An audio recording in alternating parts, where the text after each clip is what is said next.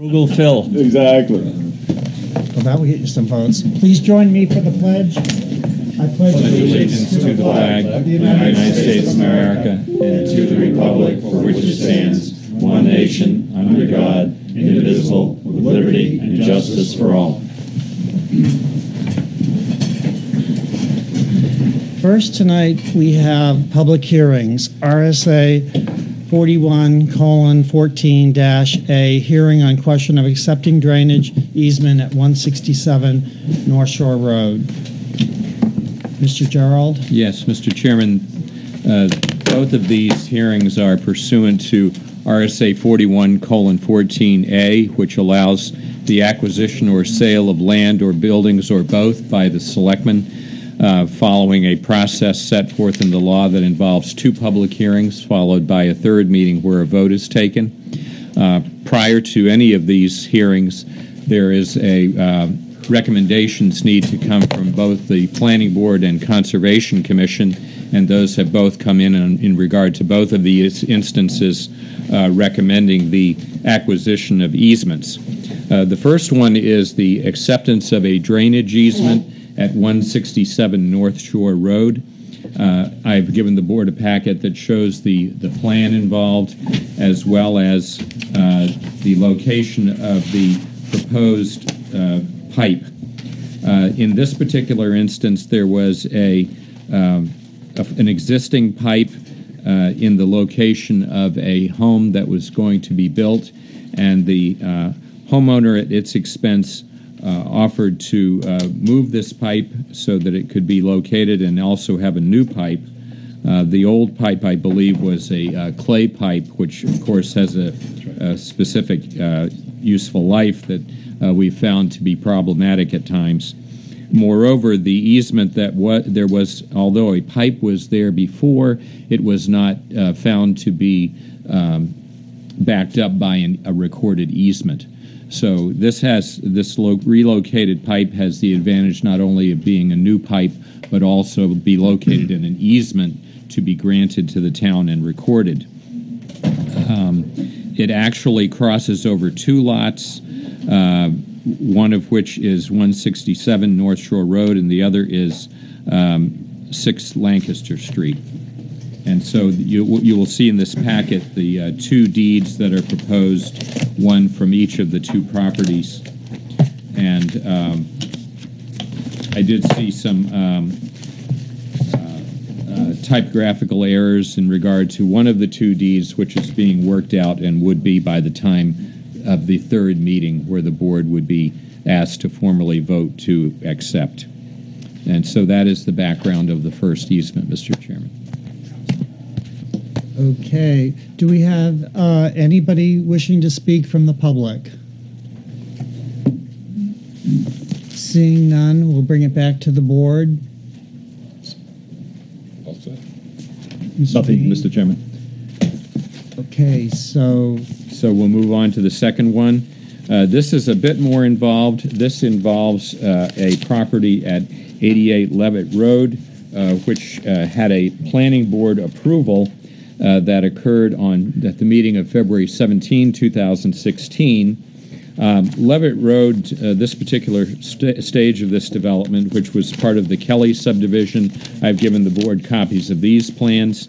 The initial plan was back in 1953, and as originally designed, uh, this plan had Leavitt Road uh, stretching all the way till it reached Winnicunnet Road, right next to the Elmwood Corners Hampton uh, rooming house. And so uh, that segment of the road was actually never built, the part next to Winnicunnet Road. Had it been built there, of course, would have made for quite an intersection, even worse than it is now. And uh, that is where you see today a sidewalk uh, next to a, a, small park with a park bench. Uh, however, there were a couple in this old development of so-called little spur roads leading to adjacent properties, which were never in fact used. And the uh, the one next to 88 Leavitt Road was uh, voted by town meeting uh, some years ago to be discontinued and was deeded to Lot 88. Um, there was on that property uh, an existing uh, drain line that came in from the property to the uh, south uh, west, southeast, I'm sorry, uh, owned by um, Pavir at the time. And so there was an existing line that ran through the uh, little spur road there. And now that that spur was discontinued and added to Lot 88, there has been a subdivision uh, proposed and accepted by the planning board, approved. And uh, so there will eventually be a, a, possibility of a small house on what was the uh, spur portion. So uh, the the problem for that is that there is no place really to turn around for either town-owned vehicles such as uh, trash vehicles, fire vehicles, uh, pl- snow plows, because the road uh, dead ends before it ever gets to Winnicunnet Road. So a turnaround has uh, a portion of, of what was to have been that uh, little spur there uh, has been paved and, and used basically for people to turn around.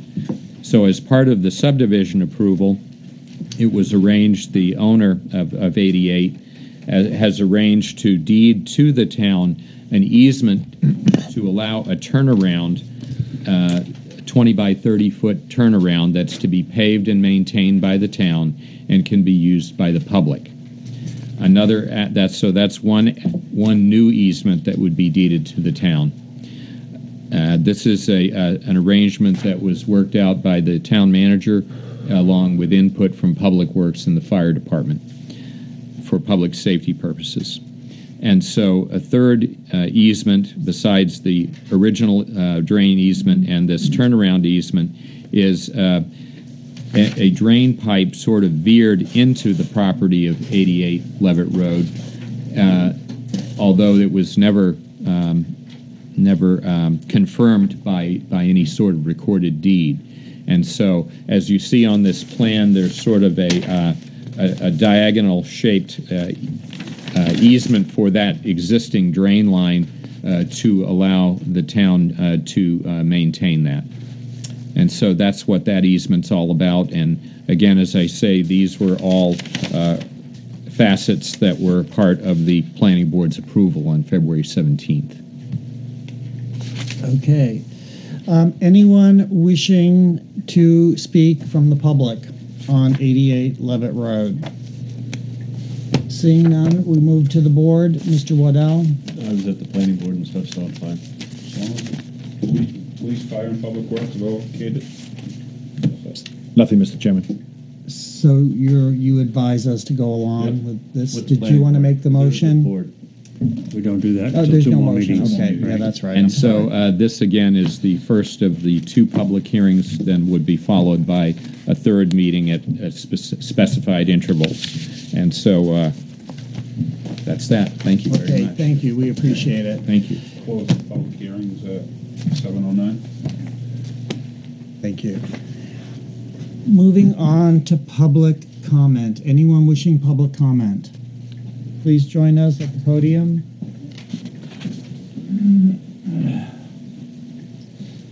Yeah, Good evening to the board here. Jerry Zanor, 16 Presidential Circle in Hampton. I have a couple of quick points. The first one um, is the sewer pipes that run under the marsh. I'd like to make a comment there.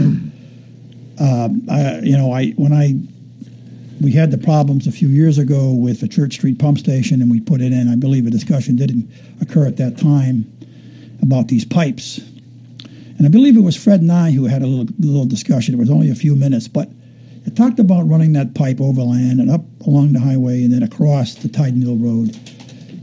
I would rather do that than get under the water and the salinity of the water and the contamination of that pipe over time and, and uh, keep them out of the marsh if that's all possible. If, if whatever the decision is to replace the total pipe, I would hope that overland route would get a real close look and good good analysis. The second point I want to make is is uh, sewer line maintenance in general, if I may, deals with infrastructure. There's been $130,000 a year put into the DPW budget for that line item, and that's a total over the last five years of $650,000. Over the last five years, 535,202 has been unspent That is about 82% of those bu- that budget over five years. Over the last two years, it's been uh, 216,000 unspent. We need to spend this money. Otherwise, the budget loses its credibility and the line item sewer loses its credibility because if, if you're not spending it, you don't need it. How can we s- sit here and argue that we got infrastructure problems when we're not spending the line item? 130,000 a year. And we haven't, you know, like I said, we five years, last five years, we spent only 535 out of the 650. So we, we need to work that. We need to really come up with a sewer plan. What are the top guys that need to be fixed? Why? Make a good presentation on why, general cost associated with them, prioritize them, execute. We've got to do these things. Otherwise, I was sitting on the budget committee, I would have cut that 130 line item. But the rest of the budget committee didn't agree. They said, well, we got a new man in charge, you know, let's give him an opportunity to execute. And I was voted out of either, even in discussion. But if a line item's not used for several years, it's gone as far as I'm concerned. So I would ask you to uh, think about that and maybe even develop a sewer trust where we can build that up over time for larger projects. A lot of these sewer projects are 300,000, 400,000, 500,000. You're not going to do that with a warrant article necessarily. You need some money in the trust fund, I would think, if we had one. And then whatever's left unspent in the line item that he's given, let it wash into that warrant article. And we could add to it every year if we had to as well. But we need a plan, a plan that people can understand and believe in, and execution. You know, he's a new director, and we really want to be behind him and support him, but we have to see some some results. Okay, it, it looks like right now we have a philosophy that says if it breaks, we'll fix it, and that's as far as it goes. We got to get proactive. We really do. Through and the other thought that I had was let's bring the cameras in the house ourselves. let's do the the camera pictures ourselves. Let's train our people how to do that. We don't have to pay outside people all the time. That's not impossible to do. And then over the time, we'll have all the town pipes looked at. We'll decide which ones are the top guys that need to be worked on. If, if, if Chris doesn't know that already, and we'll and we'll prioritize them. We'll cost them, and we'll line them up to particular years and execute accordingly. That's really all I have to say. Thank you. Thank you. Anyone else wishing to speak from the public?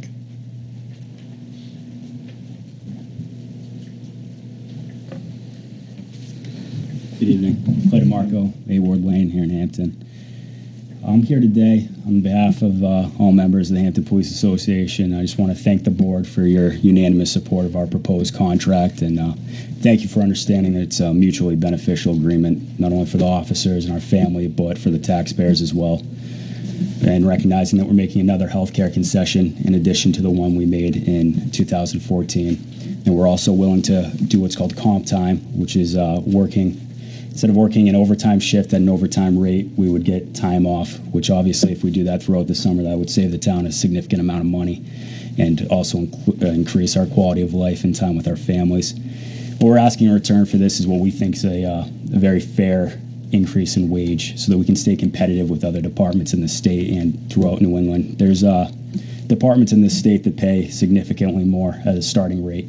And what we want to do to keep this town safe and keep moving in the right direction with all aspects of public safety is to stay competitive and get top tier applicants and top tier officers to work here and then not only work here but to stay here and do an entire career here. So thank you very much for your support. It means a lot to us.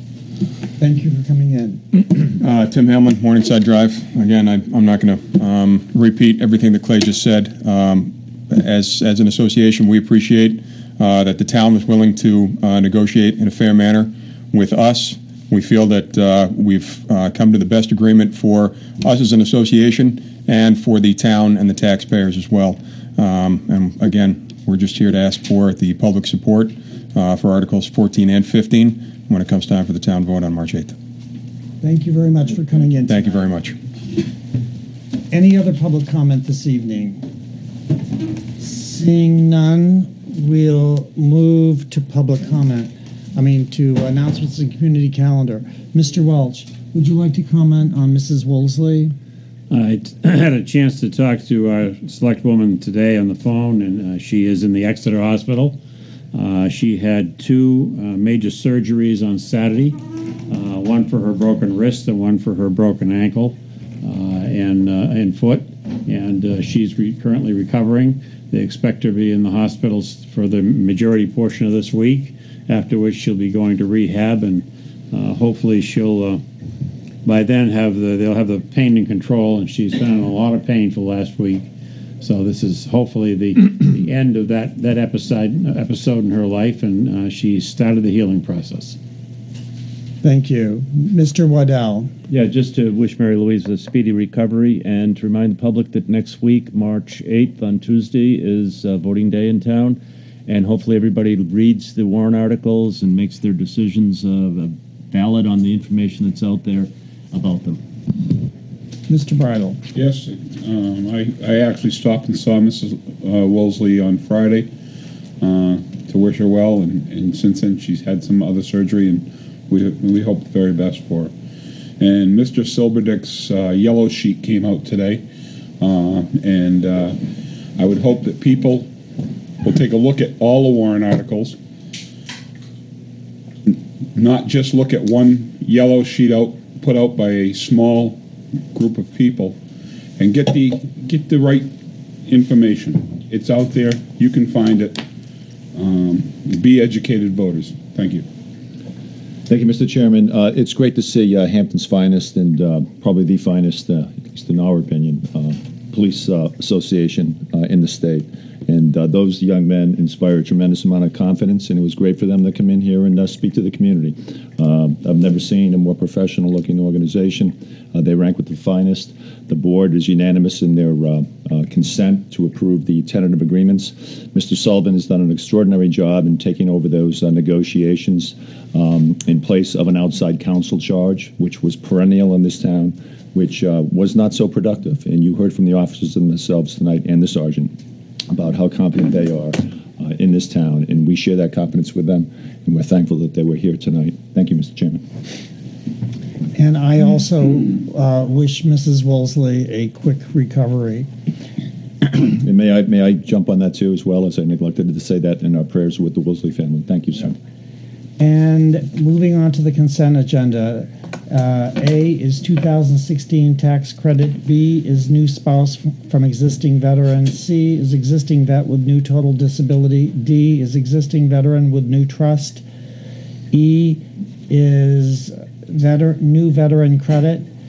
Uh, tw- F is new blind exemption, and G is half at the Hamptons use of the Ashworth parking lot, March 6th. So moved.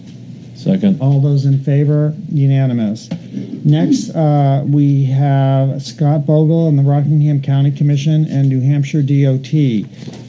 US 1 and New Hampshire Route 101 interchange realignment and transit center intermodal project presentation. Please join us at the table. Thank you, Mr. Chairman. Uh, My name is Scott Bogle. Uh, I'm a Senior Transportation Planner with Rockingham Planning Commission. Um, And with me is uh, Gene McCarthy from McFarland Johnson, um, who uh, undertook the engineering conceptual design component of this project. So we appreciate the opportunity this evening to um, talk with you about the findings from the Hampton Route 1, Route 101 interchange realignment uh, and transit center feasibility study, uh, also referred to as the Hampton Intermodal Study. Um, the bulk of the work on this project was actually done in 2013 and wrapped up with a, a public meeting in uh, late 2013 where we presented uh, the engineering design concepts as well as a series of transit service design concepts and cost estimates uh, and got feedback from the public regarding uh, preferred alternatives that came out of the study. Um, at that time, though, we uh, wanted to also do some uh, further traffic modeling uh, related to the interchange, just to confirm some assumptions that came out of our regional traffic model and also refine one of the transit estimates. Uh, we never came back and closed the loop and did a presentation on the project to the Board of Selectmen. Uh, last year, when uh, RPC staff were developing uh, a prioritized list of projects to be submitted to the State Department of Transportation for um, inclusion on the 10 year transportation plan or for consideration at the state level for inclusion in the 10 year plan. Uh, this project um, scored well in terms of technical criteria, but we didn't feel that is ready to be uh, submitted to the state since we didn't yet have uh, feedback from the town uh, in the form of an endorsement of the project. So uh, in the past uh, month, we've gone back, updated a couple of elements of the project, and wanted to bring it back here to the selectmen. I understand that Jason has also forwarded information to the planning board, um, and some planning board members are here tonight, and we'd like to get feedback from the selectmen uh, and others here this evening uh, regarding the town's level of interest in moving forward with some or all of the elements here uh, to submit them to the State Department of Transportation for uh, funding. So, uh, a bit about project background. This project comes out of recommendations in uh, at least three separate studies. The Route 1 corridor study that was done in 2009 uh, included with it a couple of design concepts and a recommendation to uh, further explore uh, potential realignment of the Route 1, Route 101 interchange uh, to improve uh, efficiency at that interchange as well as fix some safety issues. Uh, the 2001 Hampton Beach Master Plan had a recommendation to look at um, opportunities for providing satellite parking to expand parking capacity associated with the beach. Uh, and then the Rockingham Planning Commission Long Range Transportation Plan has uh, a number of goals related to expanding transit access in communities south of Portsmouth, uh, addressing capacity constraints at the two current intermodal centers in the I 95 corridor in Portsmouth and Newburyport that are already above capacity. Uh, and also uh, implementing the New Hampshire section of the East Coast Greenway that's known as the New Hampshire Seacoast Greenway, intended to follow on the Old Hampton Branch Rail right of way. Uh, this parcel here at the interchange really presents opportunities to address a number of those concerns. And so, with support from the town, uh, the Planning Commission uh, approached the State Department of Transportation, got a planning grant to undertake this study. So the, the project purpose uh, for this was uh, to provide the town of Hampton, uh, the State Department of Transportation, potential transit service providers with public input and design concepts, cost estimates to guide transportation and land use decisions related to the Route 1, Route 101 interchange. So here's our interchange site, certainly familiar to anybody in town. Uh, you have Route 101 uh, crossing diagonally through the view here, running from uh, northwest to southeast through the interchange parcel. Route 1 coming down from the north uh, through the town center, splitting into southbound and northbound barrels that outline the edges of the parcel. And then you can see the uh, old railroad right-of-way uh, that extends up through the parcel as well. The parcel as a whole is about 40 acres, uh, owned by the state with a couple of inholding properties. Um, and we're just to the north of uh, Hampton Marsh here.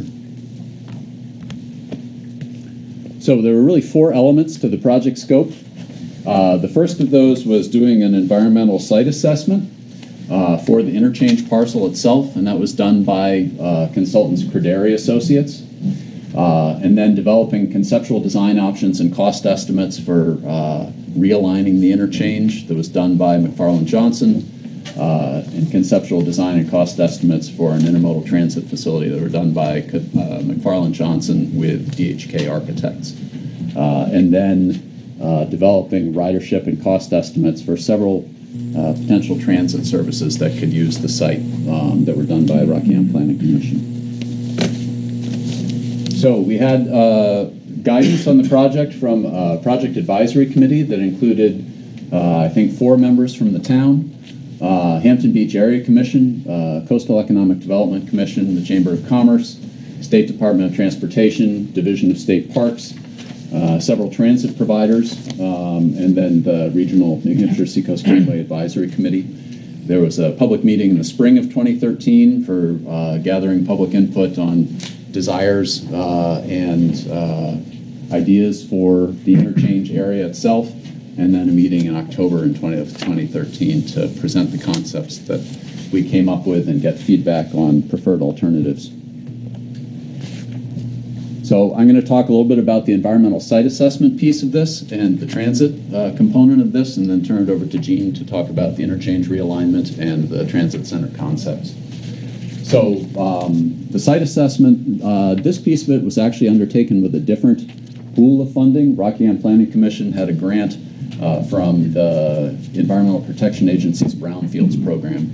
This Brownfields program is essentially uh, intended to be used for assessing former industrial sites, uh, looking at any environmental constraints related to that former industrial activity that uh, would need to be addressed in order to redevelop those sites and put them to productive use again. Um, this site was eligible for that program really based on three factors uh, the former operation of the railroad through the corridor, uh, the electrical substation that exists on the corridor, and a known abandoned dump site on the corridor.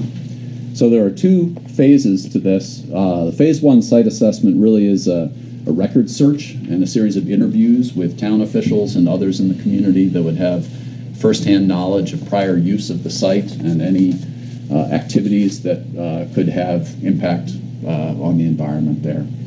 Uh, and the phase one site assessment identified those three factors railroad, substation, and landfill as what are called recognized environmental conditions. The phase two site assessment uh, actually involves uh, going in and taking soil samples, water samples, and doing test pits, uh, doing on site data collection to determine whether those uh, recognized environmental conditions that could potentially have had an adverse impact, uh, in fact, there's evidence of that. Um, the the on-site data collection confirmed a degree of soil contamination associated with the former dump site, as, as one would expect. Uh, however, it, it dismissed um, uh, concern related to contamination associated with the railroad uh, or associated with the electrical substation. The transit feasibility element. Um, we looked at three types of transit services here. Uh, intercity commuter service uh, on I-95 connecting Hampton to Boston. Uh, regional public transit service that could be provided by Coast, uh, connecting Hampton to Portsmouth or, uh, or other seacoast communities. Uh, and then a local shuttle connection to Hampton Beach and possibly other locations in town. in addition to the transit center. and then taking those ridership estimates aggregating those, came up with an estimate of uh, capacity need for the park and ride, uh, and then looking at capital and operating costs associated with uh, a transit center and park and ride. So, uh, existing conditions related to intercity service uh, in the Route 95 corridor. Um, I'm sure most of you are familiar with uh, the service that C&J offers in the corridor uh, between Dover, Portsmouth, Newburyport, and then Logan Airport in downtown Boston. They run currently 32 round trips per day. Uh, some of those serve both Logan and downtown, uh, some either or, uh, depending on the time of day and the purpose. Um, the other point we wanted to bring up related to uh, existing conditions is capacity at the two intermodal centers in the corridor. Portsmouth Transportation Center at exit 3A has been expanded several times. Uh, most recently, uh, last year, is now at 1,210 spaces and is routinely over capacity. Uh, C&J operates that facility and does um, uh, valet parking to squeeze in extra cars. Newburyport was widened several, was enlarged several years ago uh, to 650 spaces. Uh, I did an updated count there in mid-February, and there were actually four, there were 745 cars parked on that site with uh, double parking and just squeezing cars in wherever they can go. Both of those sites have capacity constraints, and so really can't have uh, much new capacity added on their existing sites. And so, uh, need for a further capacity in the corridor is one of the things that uh, drove this project. So, uh, potential new transit services that we scoped out for the I 95 corridor. Um, uh, developed a, a, model for a, a Boston bound commuter oriented service uh, that would run five days a week, eight round trips per day, uh, mainly uh, uh, on a commuter schedule, the bulk of trips uh, being southbound in the morning and northbound in the evening. It would require six to seven buses, really six buses plus a spare.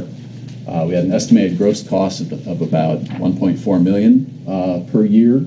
Uh, and then estimated fare box recovery after three years of about 970,000. So in the neighborhood of 70% uh, fare box return.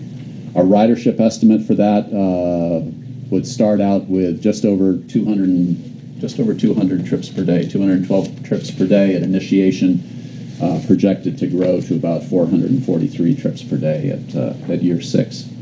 Uh, if folks have questions about the methodology for that, I'd be happy to answer them, but I won't go into that right now. In terms of regional public transportation, Coast came up with two different service models. One would be would be considered a sort of general suburban fixed route service that would run on Route One uh, from Seabrook, Market Basket, and Seabrook up to uh, the southern terminus of Coast's uh, Lafayette Trolley route. It would run five days a week, six round trips a day, about two hours between buses. Um, estimated cost on that with one bus would be three hundred and nineteen thousand. Coast's Alternative B is a more streamlined service, and it's based on uh, their Clipper Connection commuter service that they currently run uh, for employees of uh, Portsmouth Naval Shipyard that live up in Rochester, Somersworth, Dover, um, that has been very successful for them. Um, it would be a, a one round trip per day service. Uh, starting to the west, either in Epping or Exeter, uh, stopping in Hampton, and continuing north to the shipyard and or Pease um, via 95. And the cost for that with one bus was estimated at $89,000 a year. And then the beach shuttle, um, a number of uh, routing options and service models were considered for the beach shuttle. Uh, I won't get into the different routing options, but the, the general service model was seven days a week in the summer, running from July 1st through Labor Day, uh, 12 hours a day, um, and then assumed need for about half an hour before, half an hour afterward for for uh, um, pre-trip inspection, post-trip inspection, so forth. Uh, connect all of the options connected the beach, the core beach area, and the transit center, and we also had an option that connected the town center as well as North Beach. Um, these would require two buses. Our uh, our estimate uh, at outset is about 270 one-way trips per day. Uh, we were assuming a $1 fare. Um, gross cost would be about $105,000 for the summer, about $87,000 net, considering fare revenue. So, in terms of transit center capacity need, aggregating up the parking need for those three services plus uh, an estimate of general carpool usage, uh, we came up with an estimate of uh, 218 parking spaces needed at initiation, growing to about 330 uh, by year six.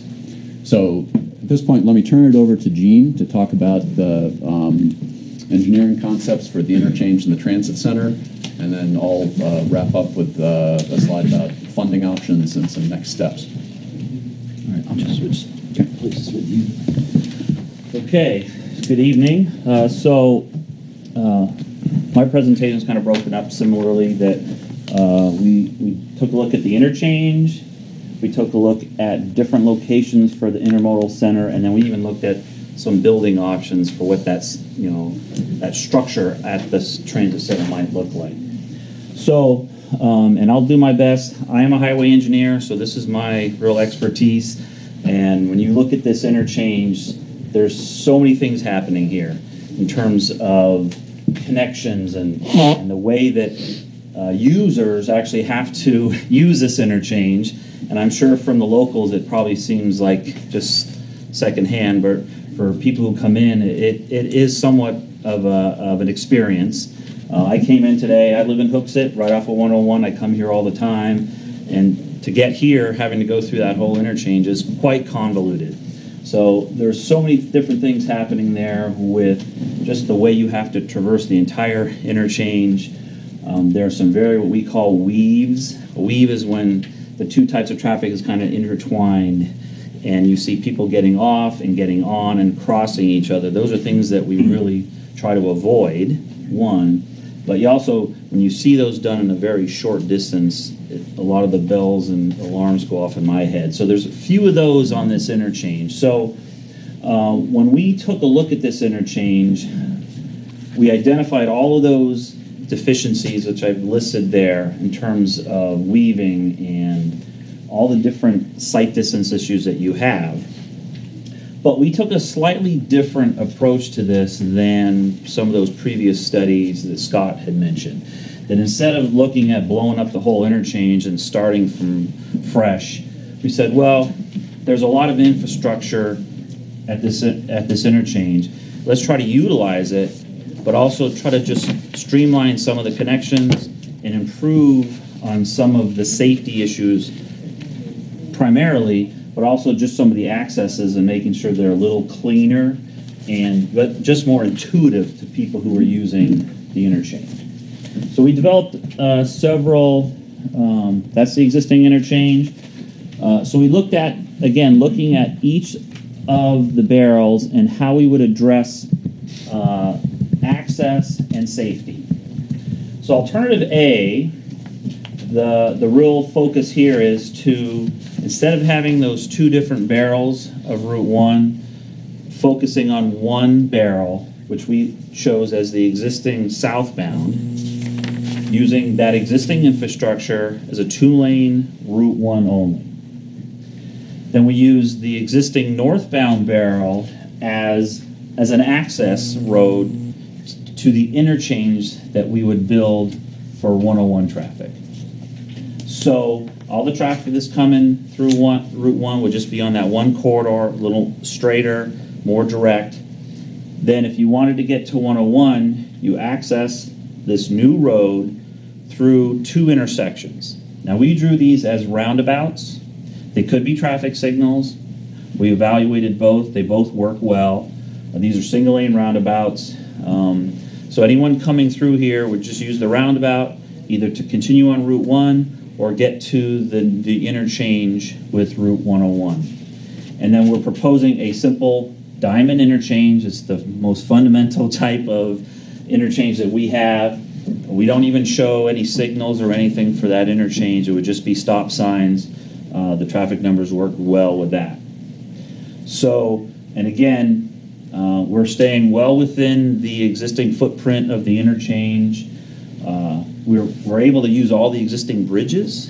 Um, we do have some reconstruction for the intersections, the two uh, roundabouts at either end, or the signals.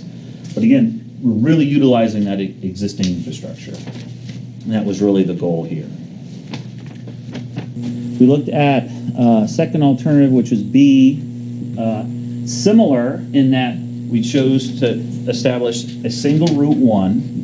In this case, we used the northbound, and again, use that as the access for 101. Again, using a, a diamond interchange, but in this case, you have a lot more traffic because you have all the Route 1 traffic plus the traffic destined for Route 101.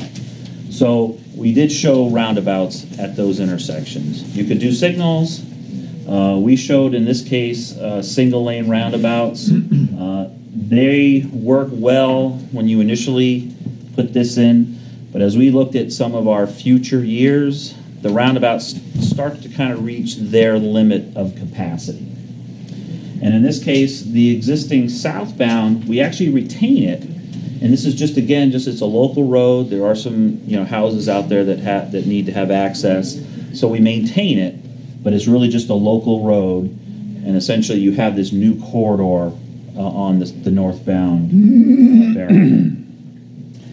Uh, option or alternative C is is just like B, but we said okay, if you really want to have a solution for the long term in the future, we would need to build what we call hybrid roundabouts at the intersection there with the Diamond Interchange. Uh, with that uh, configuration, that existing bridge uh, that takes 101 over uh, northbound Route 1 is not long enough, so we'd have to replace the bridge. And this is one of these things, if this project goes forward and you do much more detailed traffic analysis, you probably need to determine if this is something you'd really need to do. So those were the three concepts.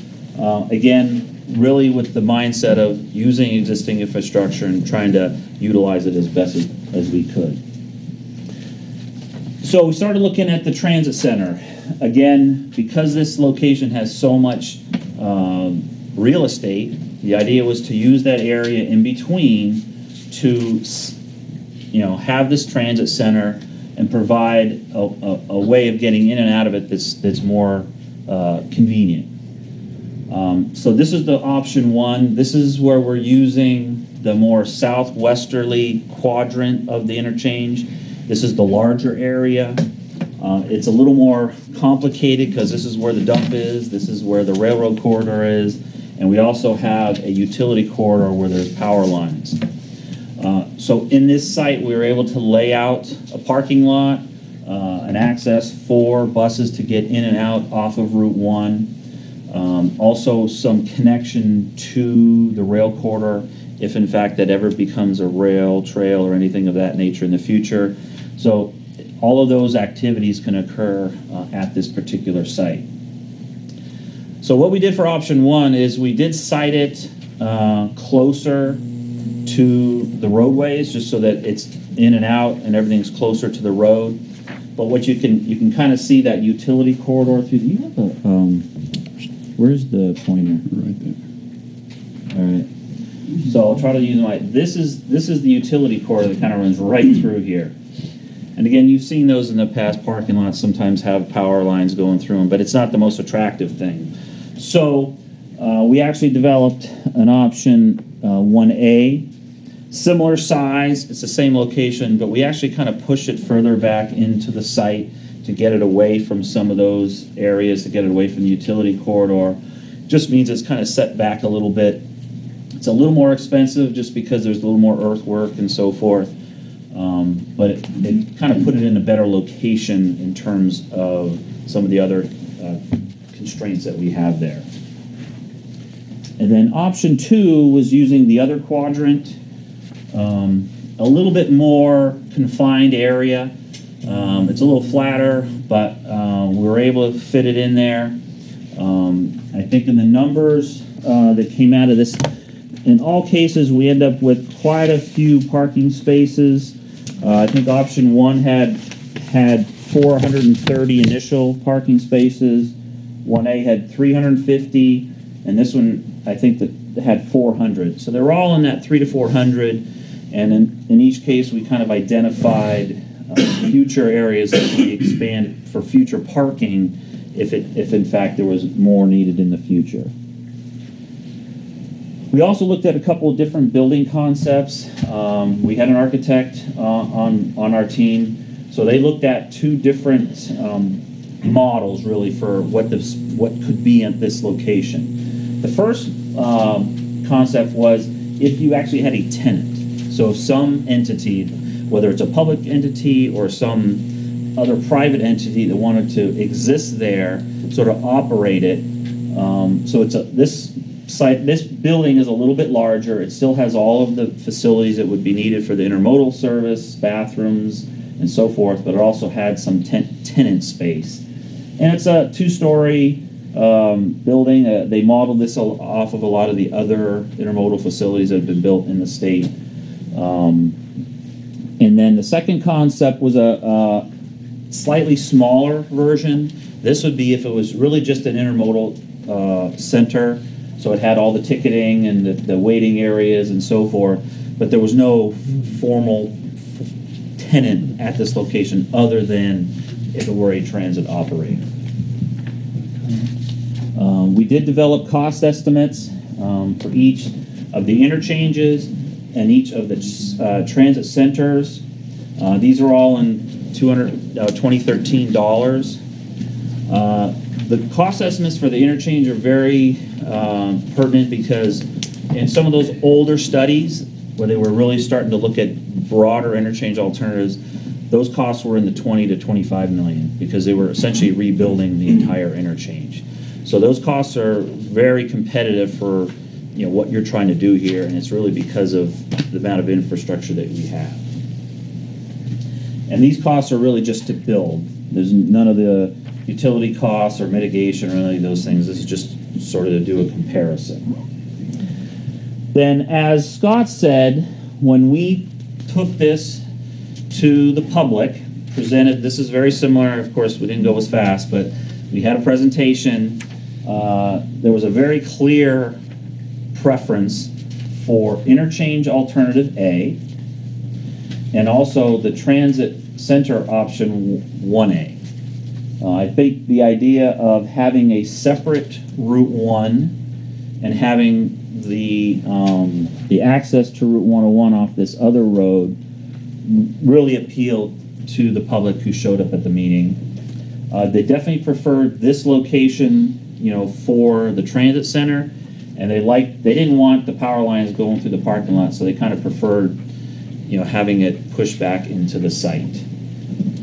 And this was then uh, taken back to the advisory committee, and they supported that, you know, preferred alternative from um, the public. And I did have, I know I had a question slide, but I thought maybe you want to wait till the end. Yeah, why don't we do that? Let me just uh, say a few words about potential funding sources. Um, There's a range of different funding sources that would need to be uh, pieced together in order to make these different project concepts happen. Uh, With regard to the interchange, um, either of the two major uh, pools of federal funding that the state uses uh, for the bulk of projects that are on the state 10-year transportation plan. Uh, This project would be competitive for those in the state 10-year plan process. There's the Surface Transportation Block Grant Program or the National Highway Performance Program. Uh, And so uh, the process for that involves uh, submitting the project uh, to the Regional Planning Commission for regional ranking, which then, then goes up to the state level for statewide ranking. Regarding, uh, and also on the, on the interchange project, um, the match on federal dollars for those projects uh, would be provided uh, by the state. In the case of transit projects, uh, there is not state match available for transit projects. The sources for uh, transit center and likely for intercity bus service, and, and really the um, the likely source of uh, startup funding for uh, the different transit services would be Federal Congestion Mitigation Air Quality Program funding, or CMAQ. Um, that is the funding source that was used for the Portsmouth Transportation Center, uh, for um, the I 93 uh, commuter bus service that's part of that highway widening project, uh, and for several coast pilot projects. Um, Farebox revenue certainly is another source of revenue for this. The CMAQ funds can be used for operating support for a period of now, I believe, up to five years. After that, uh, if there is need, to the extent there is need for ongoing operating assistance, there's a separate pool of Federal Transit Administration funding uh, that's available uh, to uh, Coast for the Portsmouth urbanized area and Dover Rochester urbanized area. There's also a pool of FTA funds associated with the Boston urbanized area that touches into southern New Hampshire. And so this project would be eligible to tap into uh, to uh, either the Portsmouth urbanized area funds through Coast potentially or through the Boston urbanized area. Um, on the beach shuttle, uh, we're envisioning uh, that that Coast could be a partner in that to, to tap federal funding, or that could be set up as a public-private partnership with beach businesses, uh, say the Village District uh, involvement. Um, there would be other potential sources of non-USDOT match for Coast's Clipper connection service to the shipyard. Uh, the Department of Defense actually provides a portion of the cost of that. Um, and then uh, municipal funding as, as match on those $5,307. Um, if we're talking about a, uh, a coast, that option A service on Route 1, um, that sort of service tends to have match come from municipal dollars and on bus advertising. Uh, for the express service, if that's bound for the shipyard, uh, likely that match would come from uh, the employer. Uh, and then we also looked at uh, uh, revenue potential from charging for parking fees at the park and ride. Currently, the state doesn't charge for parking at any of its park and rides, but has expressed an intention to study the potential for that. Um, in Massachusetts, the MBTA charges for parking at the commuter rail lots. Uh, Massport charges at the Logan Express lots.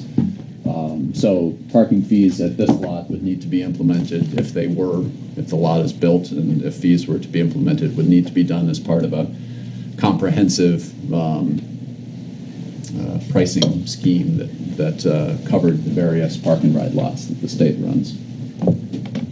So to sum up, um, talking about implementation steps, really, as we said at the outset, this is a, a feasibility study. And the intention is to was to um, identify concepts, look at costs and potential benefits, and determine if there were environmental constraints or other technical barriers to implementation. Uh, and also to get a sense for what the level of interest is on the part of the town or transit providers, uh, DOT, um, beach businesses in, in implementing uh, one or more of these concepts. So essentially, we found that, uh, or rather, we didn't find significant technical barriers to implementing this. We didn't find site constraints uh, that would prevent uh, uh, the interchange realignment or a transit center to be constructed, uh, or at least that couldn't be worked around. Um, uh, we found that uh, the design alternatives McFarland Johnson came up with uh, would significantly improve safety and efficiency at the interchange, and also would be more cost effective than the ones that had come out of the uh, Route 1 corridor study. But that said, um, funding for any transportation project in New Hampshire is, is very tightly constrained and very competitive. Uh, this is an intersection of two major state highways, and so really this would be the State Department of Transportation's uh, responsibility or prerogative to do a, an upgrade to this interchange uh, and to provide the funding for that. That said, uh, the, the range of needs in the transportation system statewide, I think it's generally accepted to far outstretch the, uh, the resources available. So if this project is to move forward, uh, it would really be dependent on uh, the town and the community here uh, indicating an interest in it and, and uh, pushing for that to happen. So for some steps towards that, um, uh, an abbreviated list of steps. Uh, first would be updating the listing in RPC's 20-year long-range transportation plan. We're in an update to that now. Uh, we'll be updating the long-range project list as part of that. That would be uh, adopted this fall. The next round of project solicitation for the 10-year plan will happen around this time next year. That happens every two years. Um, and so if there's an interest to move forward with this, the the town, um, working with the RPC, would want to submit uh, whatever components of this you're interested to pursue as part of that project solicitation. Uh, it would certainly be helpful in terms of the prioritization process for the 10-year plan to also have this project be identified on other regional plans. Uh, for example, the update to the Hampton Beach Master Plan transportation component. CEDS is the um, comprehensive economic development strategy uh, for the southeast New Hampshire region. Um, that's a, a, means of prioritizing projects for funding under the Economic Development Administration. Uh, the EDA funds could potentially be used, say, for sewer and water uh, to the to the site if that was desired, but also just listing on the CEDS would strengthen the project for transportation funding prioritization. Uh, I think there's going to be a need to monitor park and ride capacity planning. Uh, our understanding is that the site of the current Timber Swamp Road uh, park and ride, at least part of that site, has been identified as possible location for a new um, district courthouse. I am not clear on whether that would take the entire site, including the existing lot, or not. Uh, frankly, I think something else that the town would want to monitor and the planning commission would monitor is uh, proposals for potential expansion in Newburyport. As I said, not possible on its existing site to the north of Route 113 there, uh, but our understanding is there are proposals that have been considered off of exit 57 and further south off Scotland Road, exit 56, for possible um, capacity expansion. And if there's uh, you know much greater capacity to the south of us, that would um, reduce the case for, for having additional capacity here. Uh, refining the beach shuttle proposal, working with the chamber, uh, the village district, Hampton Beach Area Commission, potentially uh, beach district businesses. Uh, in addition to beach goers, one of the things that uh, came up as a potential user base for a shuttle system would be employees of beach businesses. Uh, my understanding is that uh, there's been interest expressed by uh, at least a couple of beach businesses in exploring that. Um, been refining commuter service proposals, um, and then uh, eventually applying for a, a CMAQ grant. Uh, opportunities to apply for those CMAQ grants happen every two years. Uh, however, the time frame on those funds being available is much shorter than on the 10-year plan, and so think you would want to wait to see uh, once the project gets in the 10-year plan to do the uh, interchange realignment and transit center, then go after CMAQ funds for transit services. So I appreciate your time and would be happy to answer questions. Okay, Mr. Welch, would you like to uh, take a first bite? First bite. It's a lot to bite at. All right. Uh, It's a big proposal, and I know I served on the committee on this. Um, I still have some big druthers about the alignment of the intersection because of the current problems we have with existing traffic and the amount of traffic that keeps on mounting out there. We get more and more and more and more traffic. And I still think that there are some things the state can do in other locations that will lessen that impact. And uh, that should be brought into the discussion as you go along. But it's a little early right here to, to get into something that's off-site that may in fact impact that uh, substantially. Um, uh, The intermodal transportation center is something that this town needs drastically. It's, it's, uh, there is no uh, intermodal transportation whatsoever in this area. Um, I think the comment I made at the, uh, at the commission meeting was that uh, we certainly did not want to see a St. James Street type bus terminal here, so we need to have it on the other side of Route 101 so that it's not in the center of town, which caused some severe problems with, with road realignments in the center of town that really, really, really would cause some hardships and problems. Um, at, at the way it's configured right now, as far as the the, uh, the traffic patterns that we have in the summertime and the amount of traffic we have in the summertime, I'm not in favor of using one barrel. Uh, that barrel, it, it, running southbound. Um, if you take a look at your chart over there or the map that's over there that you have on the easel, your um, exit off of uh, 101 onto Route 1 south, traffic periodically is way back towards Hampton Center from that intersection. And, uh, you know, 5 o'clock at night, on many nights in the summertime, it's, it's, it keeps on moving back further and further and further. Uh, the farthest back I've seen it is about five cars past Route 10, Route uh, 101 uh, to the north. If we continue to have the amount of traffic that we have building, uh, that's with two barrels working, um, and we reduce that to one barrel, we're going to be somewhere up around North Hampton before long, with, with traffic just stopping and snarling and crawling. Um, there need to be some other outside efforts to look at where that traffic's coming from and why it's coming here. A lot of it has to do with the tolls out in the interstate and the position of the toll booth. Um, that exit off of uh, 101 East to Route 1 has a yield sign. And I think anybody here, and I think most everybody here does go through that intersection from time to time. Uh, I never see anybody yield there. it's a it's a shotgun right through. They come off of uh, um, eastbound onto onto Route One uh, southbound uh, at full speed. They don't even slow down. Um, they need to put a stop sign there. There's, there's no question about it. They need a stop sign there. Uh, traffic is not stopping. It's not yielding. It's it's a problem, and we have frequent accidents there.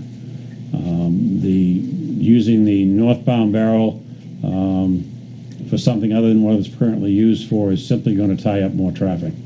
There's very little traffic there as it is coming to town uh, in the evenings uh, compared to the southbound. So uh, if you tie up that southbound, you're going to tie up the center of this town. You need to get the trucks off of that road. You need to do something with the toll booths.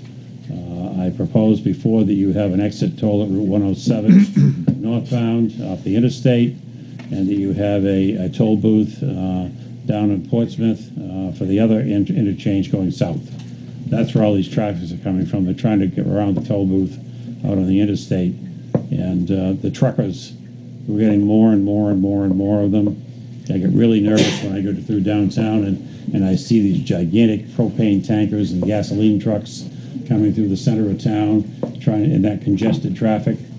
someday there's going to be an accident and there's going to be a disaster. We need to keep them on the interstate where they belong, not through here to avoid tra- a toll. so those are just some quick thoughts on what you've got. Um, I could sit here for half an hour and continue to go, but I'm not going to because you've got lots of folks who want to talk. Thank Okay. you, Mr. Chairman. Thank you. Mr. Waddell. Yeah, um, you know, done a lot of planning and stuff, and I agree a lot with what Fred says. And one thing about the trucks, keeping the trucks out of the middle of town, because that just increases everything there. So the toll booth thing, I think, is good. Um, the um, how much if you put the intermodal transportation center there, how much increased traffic would you have? How many, you know, are you going to have more and more people coming in to town because of that? So we taken into effect that increased traffic that you might have. And then I was thinking when you talk about the beach shuttle and you're having the parking at that intermodal place for both the bus and for the shuttle, how's that going to work? Because if if Pease is over, if Portsmouth is oversubscribed and Newburyport's oversubscribed, and this becomes oversubscribed, then it would do away with the shuttle, wouldn't it? Because you, the parking would be oversubscribed with the bus going to Boston.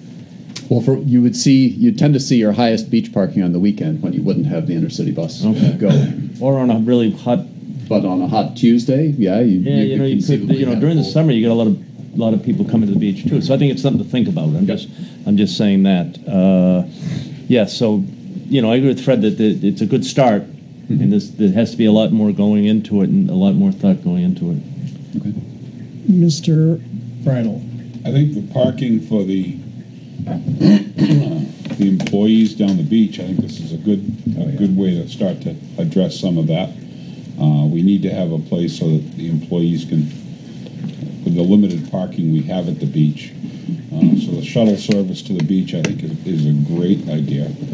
Uh, I am, a, like Jim, I am a little concerned about the, the parking that's there getting overused by either either the bus transportation to come out and, and, and the beach parking, I, I can see there being a real uh, head-to-head with who's going to park where, and, and, and so uh, I don't know if it's big enough but as far as the amount of spaces. Um, uh, and, and as far as um, the, using the two barrels, um, I'm not an engineer. Uh, I'd rather leave that up to the engineers, but uh, uh, it's good work. We we still got to work at this. Some it's a good area to start to look at. So, okay. Mr. Bean. Thank you, Mr. Chairman. Uh, Thanks, gentlemen, appreciate it. Uh, So the project uh, that you guys are talking about is really two projects. One is about a road, and it's a state road, correct? So I think your road needs to be uh, rerouted. Uh, I think that on-ramp onto 101 is uh, deadly, and uh, I think the state needs to do that with their own money and uh, fix that. And thanks for coming down to talk about that. Uh, that's the salient in the whole issue, as I look at it. And I've been in town for a couple of years, almost as long as Rusty. Um, and I think uh, you guys take, the state takes a couple hundred million bucks, pretty close to that, out of this 03842 every year with your revenue platforms. And uh, you need to reinvest in that. We don't want to hear you don't have money because you take almost 200 million bucks out of here. And uh, would like you, I think I can speak for people to make that a safer on ramp for us. Uh, in terms of uh, your package that you've you've done here, there's comparisons to the MBTA. Please, let's not do that. Uh, there's comparisons to um, Massport. Please, let's not do that. And uh, our sh- our shareholders, our stakeholders, uh, need to be really, really involved with this. We've got a business owner uh, here tonight that's speaking on other issues. Uh, his business is very close to that, and uh, I think we want people to stay in Hampton. We don't want to create an easy access for them to leave. Uh, both in Portsmouth and in Newburyport, people are leaving primarily to, to get out of town. Uh, if you put this terminus here, uh, that you can't pay for, in reading your documentation, it would require Hampton taxpayer involvement for us to pay for things on state property, which I would never support. Um, but uh, our, our Hampton Beach folks need to be involved. Uh, our business, uh, Hampton Beach Area Commission, Mr. Nyan's here, um, and I know they already have, but it needs to uh, come to a fuller boil, if you will. I don't know if the people from Concord go to the beach, um, but um, most of the local kids don't work down the beach. They're immigrants and they ride bikes. They don't need parking. That's the reality of it. Uh, maybe some of the old timers that work there that are um, uh, uh, down there that drive a car like me, maybe I need a spot, but I ride a bike too when it's summertime. Um, so that could be a moot point. Your point about employees driving buses, that's a whole liability and licensing nightmare that I don't think state agencies are really qualified or have any experience to address because it's seriously problematic to even envision that. To get someone that's got a license that has a good driving record um, liability exposures. So that's another one of those those issues. Uh, again, I support you guys fixing your road with your own money, and that parking terminus and that parking terminal, uh, town taxpayer money to invest in state, and you guys probably keep the uh, tax revenue like you do at the beach. Uh, I, I, see that as a long way off, a very long way off. And uh, again, Hampton Beach Area Commission, our Chamber of Commerce, local business owners, the beach owners. Um, this thing is, uh, is, is very far down the road, in my opinion. Uh, but again, I think that there is an exigency and a real need to fix that on, on access, heading west on uh, 101. And that's been a nightmare for years, and there are fatalities there. And that is not something that you folks at the state level uh, should have to come here to the Board of Selectmen and say that you don't have the money to fix when you're taking $200 million a year out of 03842. So I would, I would encourage you to get back up to higher headquarters uh, and uh, put that on as, as a sense of urgency um, so someone doesn't die unnecessarily. And thanks for coming down tonight. Really appreciate it. Thank you, sir. May, Yes. May I just make a couple of clarifications? Uh, just to clarify, we're not with, neither of us are with the State Department of Transportation. Uh, I work for the Rockingham Planning Commission. Well, you talked to. Regional Planning Commission. You talked to him. This is the first we've heard about it. Okay. Um, mm, there's no suggestion that the town would be involved in funding uh, interchange realignment or uh, a transit center or intercity bus service. Uh, at, at no other similar facilities in the state the municipalities participate in any of those. Uh, the two services where conceivably the town could be asked to contribute a share would be if a beach shuttle service uh, was initiated. Uh, my understanding is that the village district has approached Coast uh, looking for service quotes. Um, so that may be something for the village district to do rather than uh, the town itself. Um, also, I, I may have misspoke. There was no suggestion that beach employees actually be driving shuttle vehicles. The the idea was that um, by having free parking or very low cost parking uh, at a transit center and then shuttle service down to the beach, it would one save money for the beach employee if, if they were somebody who was driving and then free up some spaces down at the beach that businesses might rather see used by patrons than um, than Well, I read in your study, if I may, Mr. Chairman, that um, you did an exhausted study. You did uh, um, it from the air and at prime times. That there really, uh, in, in spite of public perception, and this is what your report says. Uh, I don't know if it's true or not. Uh, that there is real, there really isn't a parking crisis down there. That within five minutes there's ample parking down there at all hours of the day. I, I just read that in your report. Second thing is, is if the Hampton Beach area, um, if the Hampton Beach Commission just bought a parking lot and they want to make money on their parking lot, and then you're going to operate a parking lot too, then you're competing with them. So there's there's a whole broad range of issues here tonight, and again, it's it's, it's an information dump, but um, I, I think you understand where I'm from. Yep. Thank you. Thank you.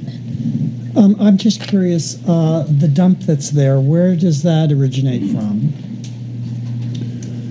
Uh, I don't know the years in which that was active. Um, uh, I know it's prior to the 1980s. I've, I've talked with Fred Rice, who had recollection of it being active when he was uh, a child. That's more than the 1980s. Yes. um, but at any rate, so the, Ceased in the the dump 60s. site, one of the other advantages to that um, transit center alternative 1A is that it avoids the dump site altogether, and so would avoid any issues associated with the dump site. So is it a, is it a, uh, a, uh, a, what do you call it, a, a Superfund site or anything like that? No. No, it doesn't go to that level of contamination. Well, I just want to let people know that uh, all 12 years I've been here at the Board of Selectmen, this has been a topic of conversation. So this has come up over and over. It's ongoing. It's nothing that hasn't been talked and spent many evenings here discussing this. Um, and usually it's been with the Rockingham Planning uh, group that comes in. Um, I am also a member of the Hampton Beach Area Commission, and I know that this has got, you know, this has been brought up many times there, and uh, in many different ways. Uh, I feel that um, it, depending on you know how long it really happens before this happens, things could change many ways about how expensive it is to park and how beach employees are affected. And I could see a lot of special uh, ways that this could be an advantage. I could see people dropping their kids off there and letting them so they didn't have to go down to the beach. They could take the uh, shuttle over there, or people picking up their drunk husbands that take it back and so that they don't have to go down to the beach or something like that. You know, I could see a lot of different ways it could work. Um, so I think this is something that we have to think about as time goes on. Um, I don't see the town of Hampton probably wanting to uh, pay for a shuttle service. From what I've seen here through the years, there's a real long shot that that's ever going to happen. Um, but it is something that maybe. Uh, uh, you know the beach village district or whatever might want to be involved in or even private funds. So uh, I, i'd like to ask anyone that would like to speak uh, just try to keep it under two minutes because we've got other things to discuss here this evening. So anyone wishing to speak please join us at the podium. John? My fellow uh, chairman of the Hampton Area Commission, John Nyan. Good evening, uh, Mr. Chairman, S- Selectmen. I, I'll keep it within two minutes. Um, first of all, to me, from not only Hampton Beach Area Commission, but from Experience Hampton, the two organizations that do a lot for this community, to me, the idea of a intermodal center um, is a no-brainer.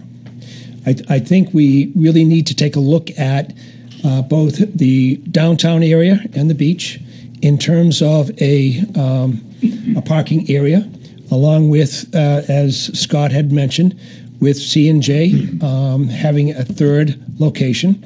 Um, you know, I'm not an engineer, like Rusty said, uh, so I'm not sure exactly uh, the the routes that would, we should take, but I can assure you that that uh, uh, ramp that's going out on 101 West is dangerous. It's very dangerous. Uh, so that has to be addressed. But I, but I think the, the more important thing is that we look at how do we service as a business community, not only the beach but downtown. And I and I know that there are businesses both on the beach and in downtown that would like to see some type of shuttle services, especially during the warm seasons, spring, summer, and fall, to transport people throughout the town and over to the beach. And, I- and I think that this could be the center of location, if you will, in terms of being able to do that. Um, I also know, in fact, and just as a, a uh, as a statistic, there's one business down at the beach that hires 300 employees in the summertime, and they don't have parking to put them, so that they're utilizing the tourist parking spaces, which uh, takes away a lot from people driving around and around and around looking for spaces. So, what what I'm suggesting is that um, we continue to look at um, what they're offering as a uh, um, uh, as a program, as a service, and uh, continue as a town to work with them to look at reasonable ways of how to move this to the next step of the process um, and, and look for funding, not local, not state, but federal funding to make this thing happen. So that's all I have to say. Thank you, Mr. Chairman. I one thing I wanted to say too is that, thank you, John, um, that a lot of people, uh, town residents, have uh, expressed uh, many times through the years that they wish there was a place where they could leave their car and go to Logan Airport. And I think more importantly, they ought to think of a way to have to do the same thing for over at Manchester. Maybe more people would take their flights out of there if there was something like this available. Mr. Preston? Hi, Bob Preston. Um, I'm here as a member of the Chamber of Commerce, the uh, Beach Commission, and Experience Hampton, as well as a local resident. When I drive by this place now, it looks to me like it's a mess, you know, and we see it all the time. I can't imagine what the tourists think. I assume we're going to have more public hearings on this, so we'll, we'll be able to get into this in depth. But briefly, when I look at that southbound way, the southbound uh, barrel, as we call it, I think if we can keep that four lanes, I think traffic will move a lot faster because it appears to me the northbound lane is what's going to handle all the traffic going on and off of 101, Yeah. as well as the traffic coming out of the parking center. All right. While we're talking about the parking center, I like option 1A, and I like it better because it's along the southbound traffic so people driving along can see look at all that parking. We'll be able to use that. What's that? I think it would help sell the whole parking package for the beach and for for the buses and, everything. I just think it would make a, a big a big difference. And then one other thing, I don't know how low this property is, but if we could have a tunnel under 101 so that eventually someday you could connect those two parcels in case you needed additional parking. If this was that successful, I think it would be better to spend the money now than to um, have to go through the process of digging underneath that highway later. Thank you.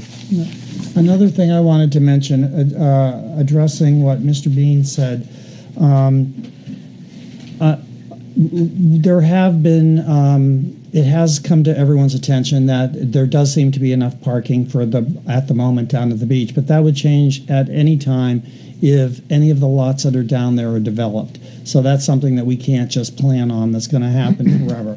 As soon as those other lots are developed, there's going to be uh, a shortage of parking. Would you, Mr. Tinios?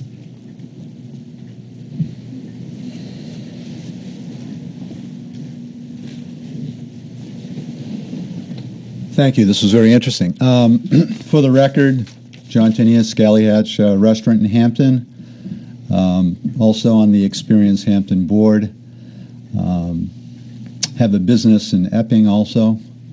And I think I want to talk to you to about the populations of all of the towns that surround us off of 101. Uh, and how they how we are moving traffic now or not moving traffic uh, and it's not really a, just a summer thing. This is a year-round thing now. Remember when we got when we came here in 1970, January 18th, the first time we looked at the pro- actually 69, uh, January 18th, first time we looked at the property that we, we now exist on. It was a, a site that basically had four or five hospitality businesses in the whole area. We didn't see a car for 20 minutes. January 18th, going down Route 1. That isn't the case anymore. So if you go off exit, any of the exits from the beach all the way to Manchester right now, every single one of them, exit 9 and Exeter, uh, they're building like crazy.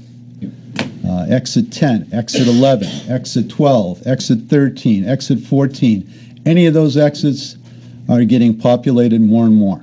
So where do these people go and how do they commute? the jobs aren't necessarily in those towns. They have to they have to depend on commuter some in some cases carpooling, some cases public transportation.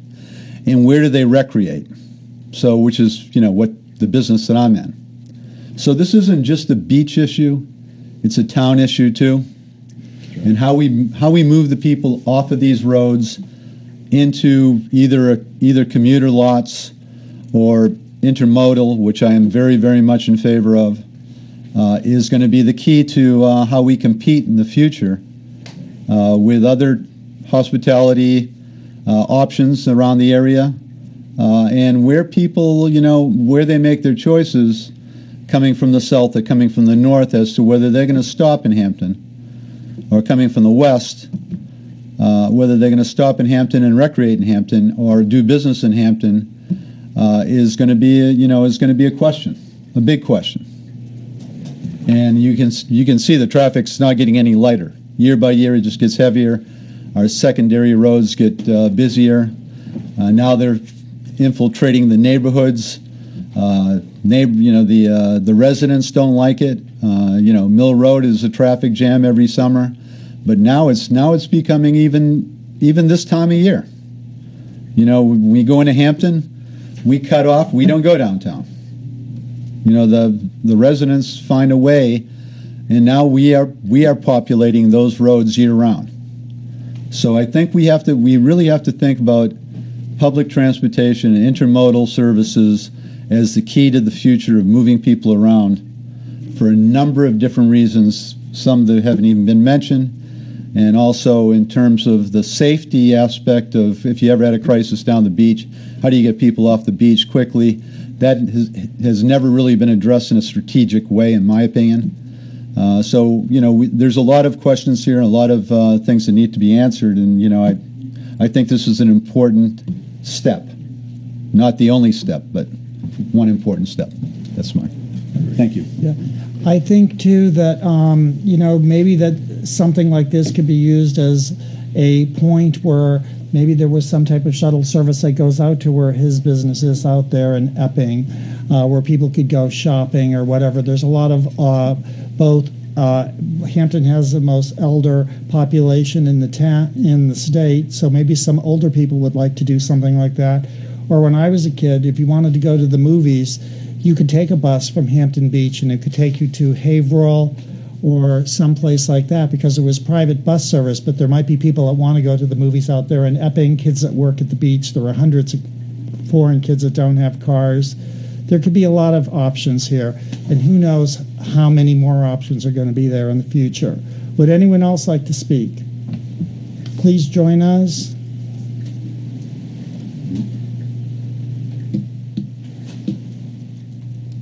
I'm Barbara Kravitz, 8 St. Cyr Drive in Hampton. I represent uh, Hampton, thanks to this honored board, uh, with the Rockingham Planning Commission.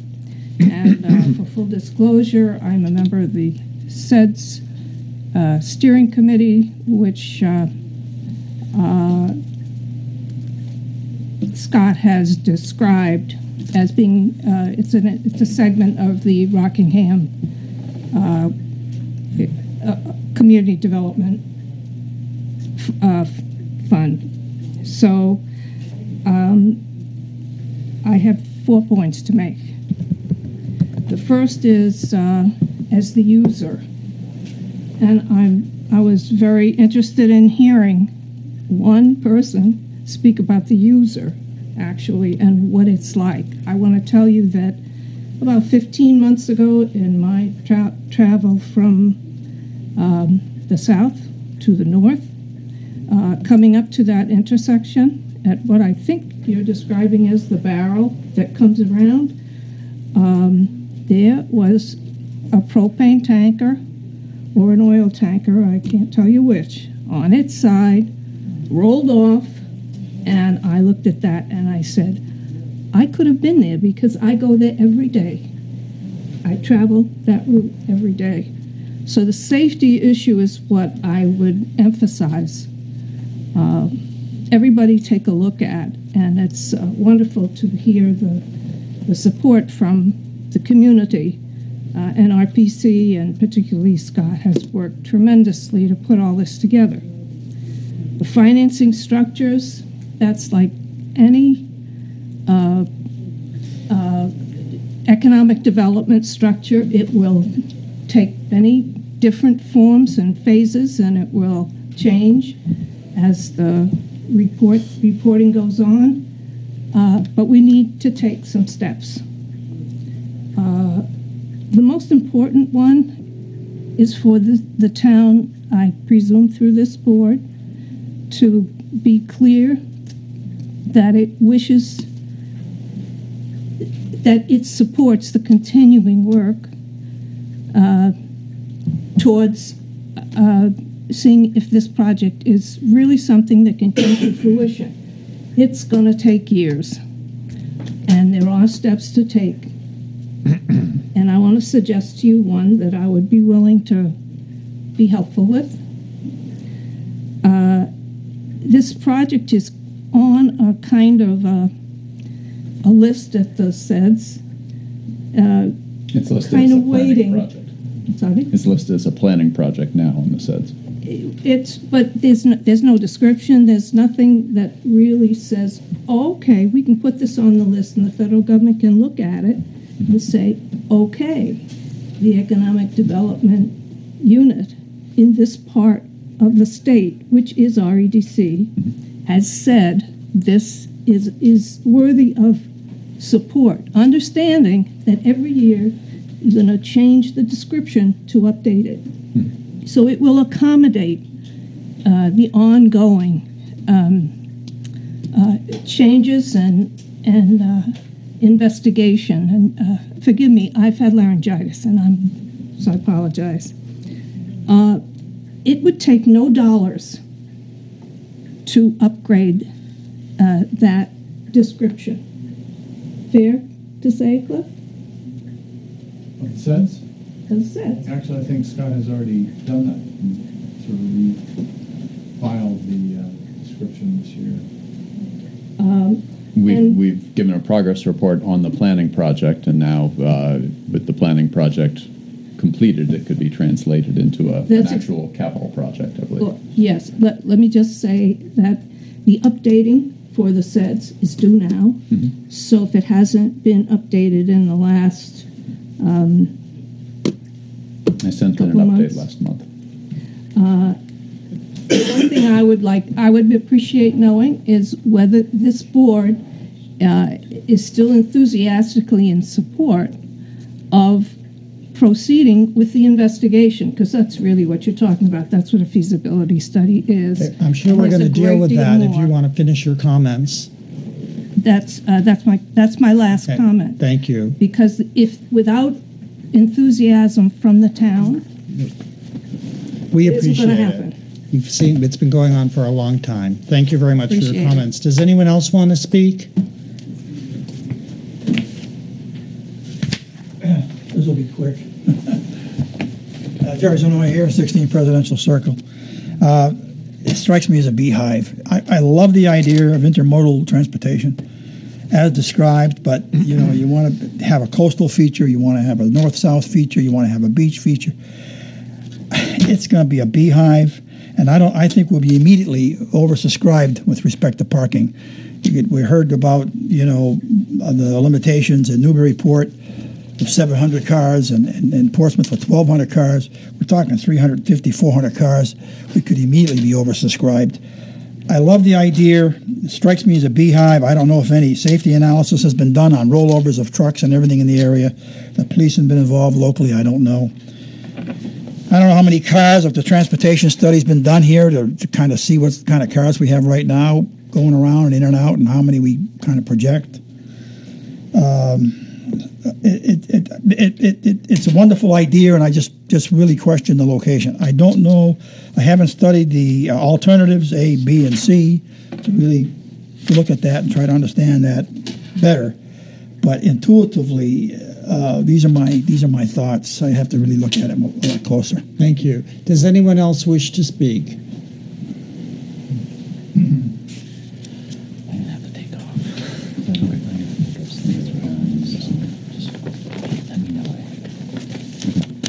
Yeah, hi, my name's Sonny Kravitz. I live at 18 Sears Drive in Hampton. I just want to raise another issue. You just spent $300,000 repaving Exeter Road. Okay? I attended a meeting where a traffic person from UNH says there's no way that you can put heavy trucks on Exeter Road without having to repave it in five years.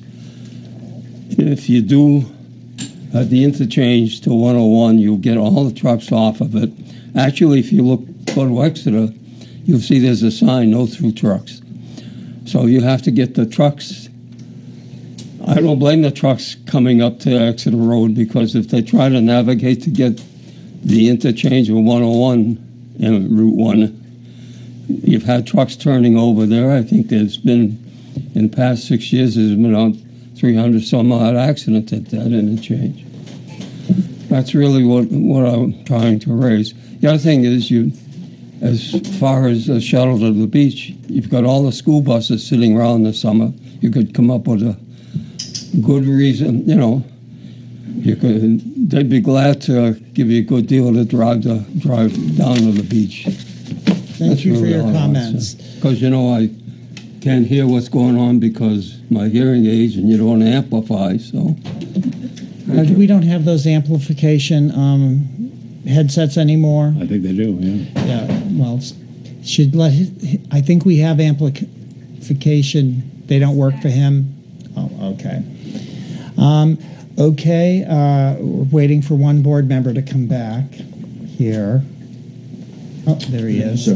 Gene Uh, apologizes. he needed to uh, leave fine. to pick up his That's son. fine, yeah. Um, So do we have a motion of support? I'll make that motion. And I'll second that. I, I think it, it, it's got a long way to go with this plan, but there are some real needs that are needed in this town, and, and not including the beach, but in the town. And I think uh, this is one way that we can start to address them. And I, so we have a first, we have a second, and like I said, this is something that's been going on for years, and it's something I think needs to be supported also. Uh, Point of clarification, what- what does, what does support mean? Just Just that the the, general that the, effort? the, The general the effort. conversation Continue to- continue to go on with- There's a lot of people working on this from a lot of different angles. Support Okay. From my point of view, my motion means that we're enthusiastic about the project and we, we really feel the need for the project and we'd like to see it I- continue. And, and you have, my motion was that we're supporting it. Well, there's a lot of things that have been said here tonight that uh, I can tell you that they have been improved from when I first heard them 10 or 12 years ago. yeah. So all those in favor, unanimous. Thank you. You have our unanimous support. Thank you, sir. Thank you. Moving on, we have Chris Jacobs, DPW Director, and Jennifer Hale, DPW Deputy Director. Another thing that would be good there is about that, um, the, uh, the rail trail. That would be a great spot for people to, uh, possibly, you know, incorporate. There'd be bathrooms and stuff like that. So Yeah, there that, could be a uh, lot of advantages, and I know there's a lot of people in this community that are excited about the rail. rail Actually, trail. they, they talked about that as part of the process. Yes, I think that's a great part of it. That was, I meant to mention that. Yeah, that's another nice opportunity with having a transit center there. It could be trailhead parking and amenities Yeah. associated with the trail. And it could be a pretty spot. It was improved just a little bit. Well, there was discussion about that at the public meeting in terms of having uh, interpretive trail, uh, you know, going down into the Yeah. marsh and having could that be be very an access nice. point to the marsh. Yeah. Thank you. Thank you. We appreciate it. No, and you thank know you. that's been a spot for years. People have hung out and gone down there with off, you know, vehicles down on the railroad track. All through the years, I've talked to a lot of people that like to take their bikes down there and ride, you know, on the uh, old railroad bed. Yeah, we've seen, uh, been out on the causeway a fair amount. Um, I know at, at one point when there was uh, vehicle access down onto the corridor, you used to see folks fishing off Yes, of the uh, Hampton River Bridge. Yeah. We've seen less of that uh, more recently since um, It's been blocked it off. was It blocked used off. to be a lot of people's secret spot. Okay. So maybe it can happen again. Very, very secret.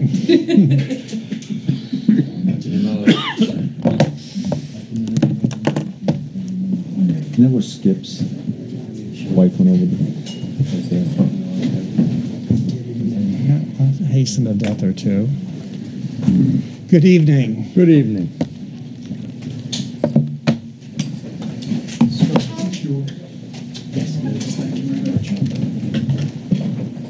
What about the cable? Nope. All right. Thanks for coming in, Mr. Bogle. My pleasure. Thank you for your time. Oh, good evening.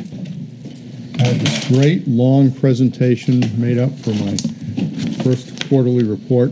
I'm going to set that aside. Uh, Pretty funny, Chris. I worked on it for two days, you know, and now I, I, I should- was asked to be a little briefer. So, um, with the department, things are going on swimmingly normal, I would say. Um, I did want to bring you, give you a quick update on. Yep, look at that. I can do that. Last year, because it's an end of year thing, uh, solid waste uh, refuse was up uh, three and a half percent over the 14 number, uh, and recycling saw just in total tonnages a two and a half percent increase over 14, but the recycling rate did stay the same at uh, 30 percent. Uh, wastewater treatment plant, um, the the actual um, amount of gallons that we uh, had to treat was down by eight percent. Uh, somewhat could be due in part to the uh, some of the sewer improvements over the last couple of years. Uh, more than likely, though, due to it was a very dry summer, so we saw a number of days that the uh, flow was actually down uh, over what it had been historically. Uh, but the we did dispose. Uh, so we had a eight percent decrease in flow, but we actually had an increase in the uh, total number of tons of sludge of uh, 3.2 percent, uh, coming in at 3,282 tons. So that's one of our operational costs that is is going up. Um, is the uh, processing of uh, waste. Um, I know Jennifer and I have been tracking it closely, but uh, we have spent in the first two months probably uh, well over fifteen percent of our vehicle maintenance budget. Part of it is due to that we held off in uh, late uh, November and December on certain vehicles to see how the winter was going to progress. But we've had uh, a, number of them uh, go down since then. I last track we were at like twenty twelve thousand dollars in actual vendor parts that we had spent, which when you look at it, that's uh, well over ten percent of our budget. But a, a good part of it was held off. Um, the the biggest and main reason why we're here tonight, as you know, is that the uh, the force main under the marsh. Um, Jennifer has been doing a lot of the, uh, the majority of the phone calls, and uh, essentially what we've come up with is that we have um, four options. Um, I'm going to quickly summarize them, and then um, we can go into more detail.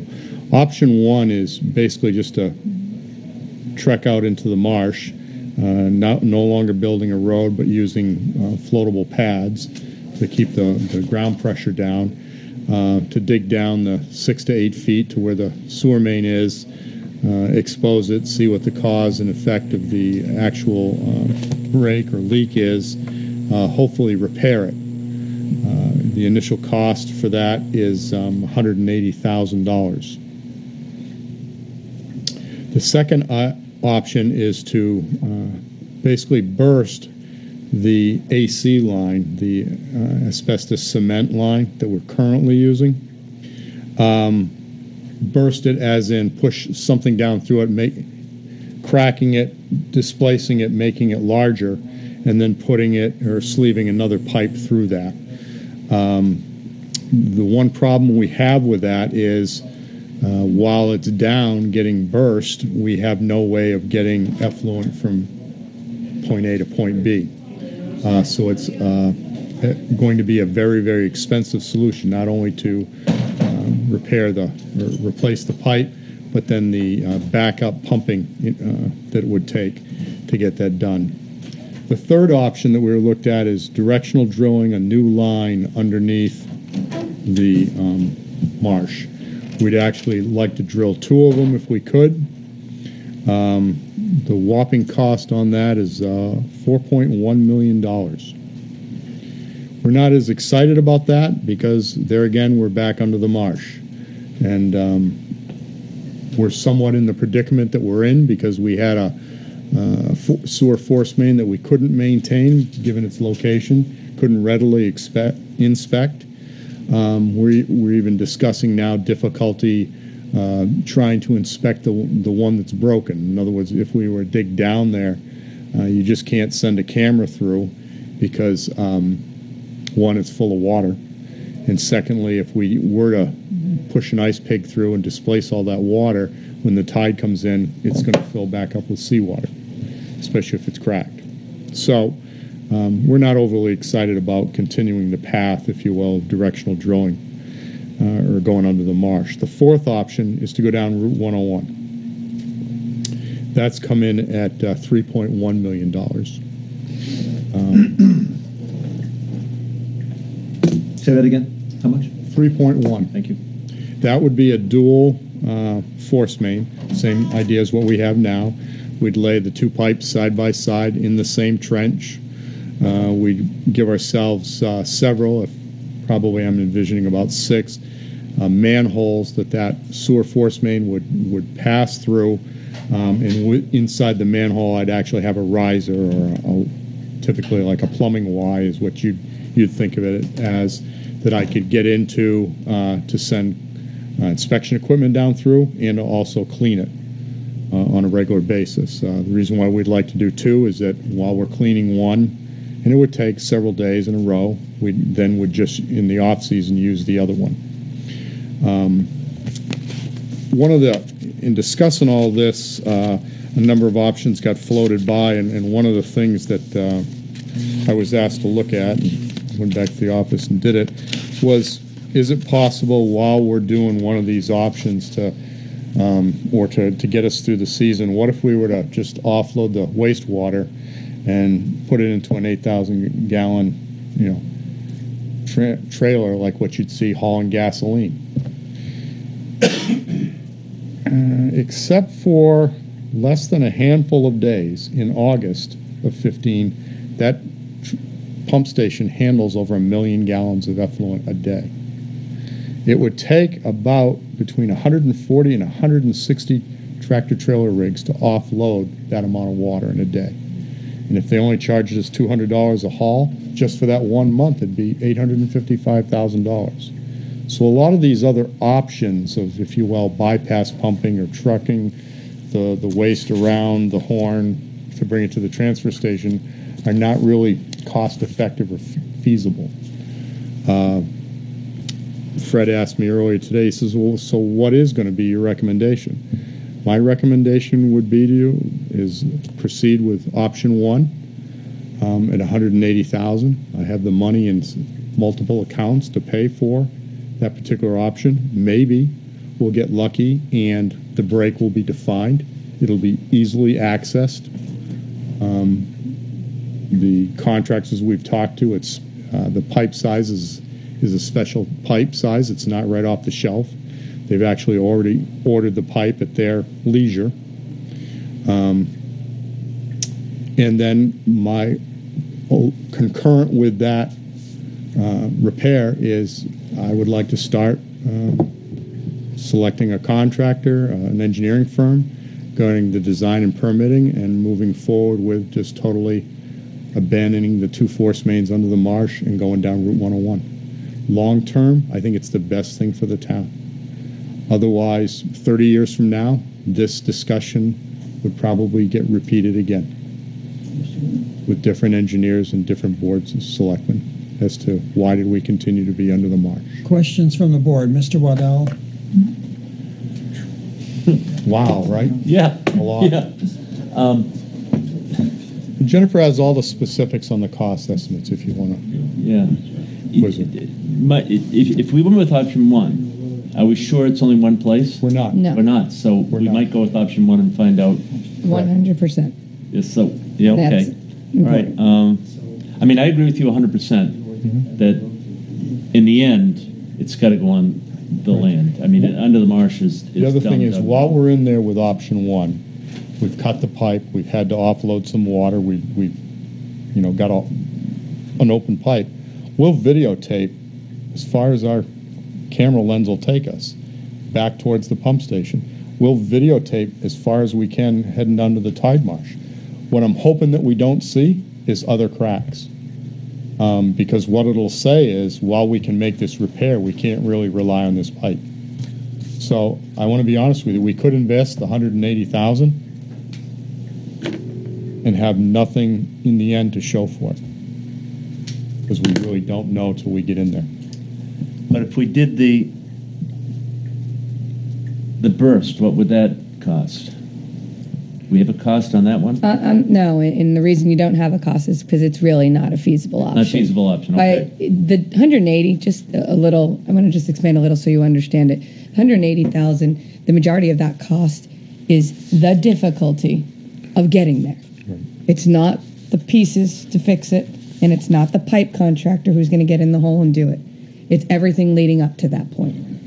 And to do pipe bursting, as we dug through all these costs, we found out that you need four points of access. So if one hole is costing 180 with a little pipe repair in it, it just puts the pipe bursting cost through the roof. Now, if we do option four, even, we still have to do option one, don't we? We recommend that, yes. I mean, because we- you have to have something for the summer, don't we? Exactly. That that's that's if we didn't have a beach. Yeah. Okay. If alls we had was 50 homes over there and uh, on a sandy spit of land, we'd probably be betting individuals and roll the dice and say our one force main will carry us there for the summer. Um, but we don't. We have a whole Enterprise. yeah, a whole another community. Um, I, I just can't see uh, that's they on on a nice hot summer day on a regular basis is going to discharge a million gallons. Somebody asked, well, also, can we just rely on the one force main all summer long with the one million gallons? To be honest with you, the, the pump station can't keep up with it. It would fill up the wet well and probably literally start coming out of sewer manholes along Ashworth Ave. That's how much. So we can only push that AC main so hard, so fast. There would be times in the day that I'd be concerned we'd have a, a, a, a reckless discharge of, of effluent. So I think we have to go in. My professional recommendation is go in, spend the 180. Let's see if we can get this repaired.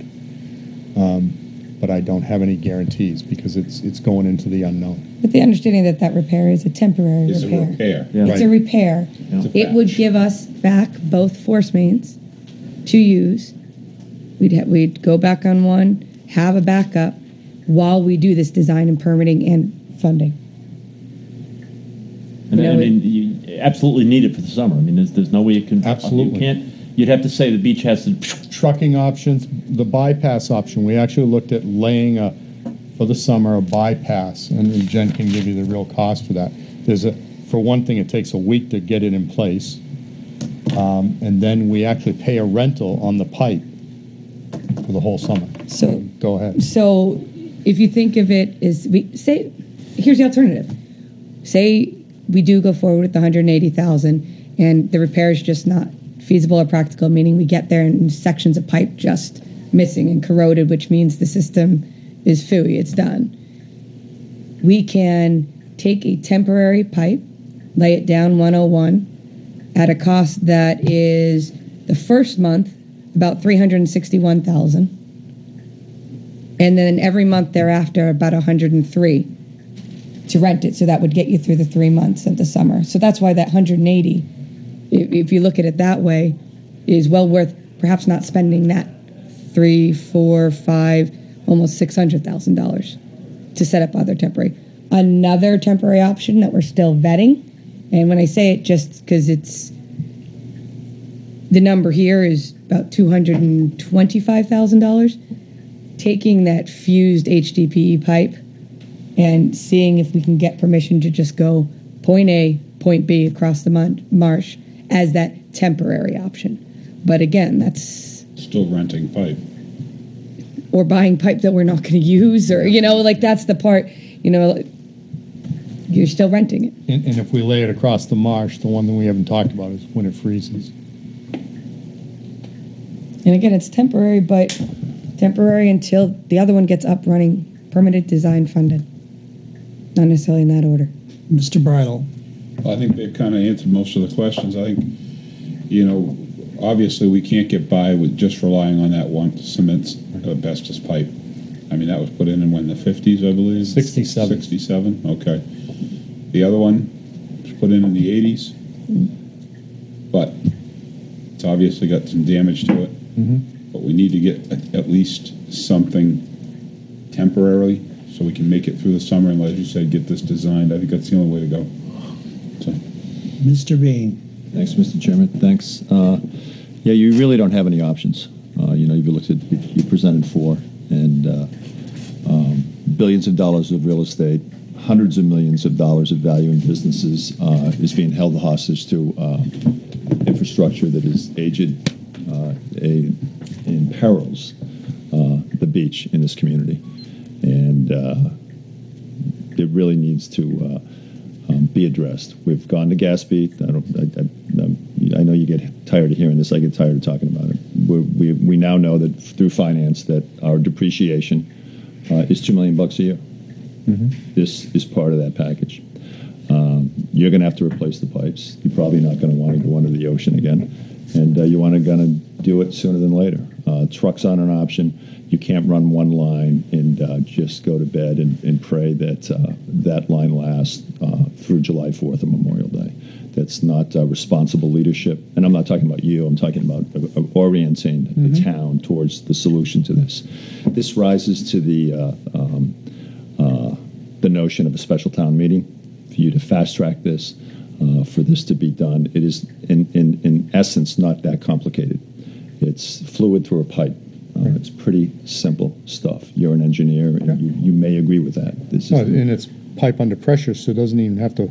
Exactly. This Touch the grid. this was not addressed when the pump station was just uh, redone for millions of dollars. Uh, should have been, um, and uh, and it wasn't. And you can only do so much. But we are we are now start, starting to see this infrastructure rear its ugly head. Additionally, we heard last week about Route One. We said a business owner there. Uh, just just leave the room. That is uh, additionally something that makes sense to incorporate into this project. Uh, again, it rises to the, the level of concern and the exigency that uh, we hold a special town meeting. Uh, you get your numbers, you get your stuff, and uh, we rule our infrastructure. It doesn't rule us, and we address it as adults, and we address it over 50 years. This is going to cost us 10 grand uh, uh, a week. It's about 620,000 bucks a year over 50 years if you're doing this stuff. You just do the simple math uh, to protect billions and billions of dollars. No one's going to sit here. No one's going to shut down the beach. There's not going to be pollution. We're not going to deal with higher headquarters on it. We're not going to ruin the reputation that everyone has worked so hard for. So uh, I am I am interested in, in that type of response, and I'm just one person talking. That we really grab this bull by the horns and and we lead on it and uh, we communicate and we uh, have fully transparent data. But you, you, really don't have many uh, options. You, in my mind, you have one. You come up the highway, as Mr. Welch and you talked about. Uh, I think you do that. Whether you do that 180 or not, that's that's where you call. But uh, I really look to a, a special town meeting to get this done, get it done quickly. And uh, thank you, Mr. Chairman. Thanks, guys.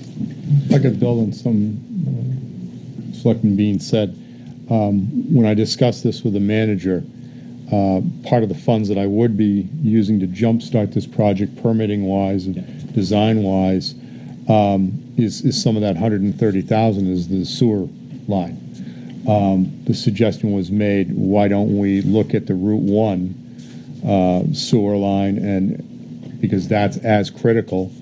Um, it's going to be somewhere around 800 $850,000. So just um, if, if it was possible to add that into the bond to then offset, uh, because we had really planned on hopefully in the next 60 days actually getting in the ground for that.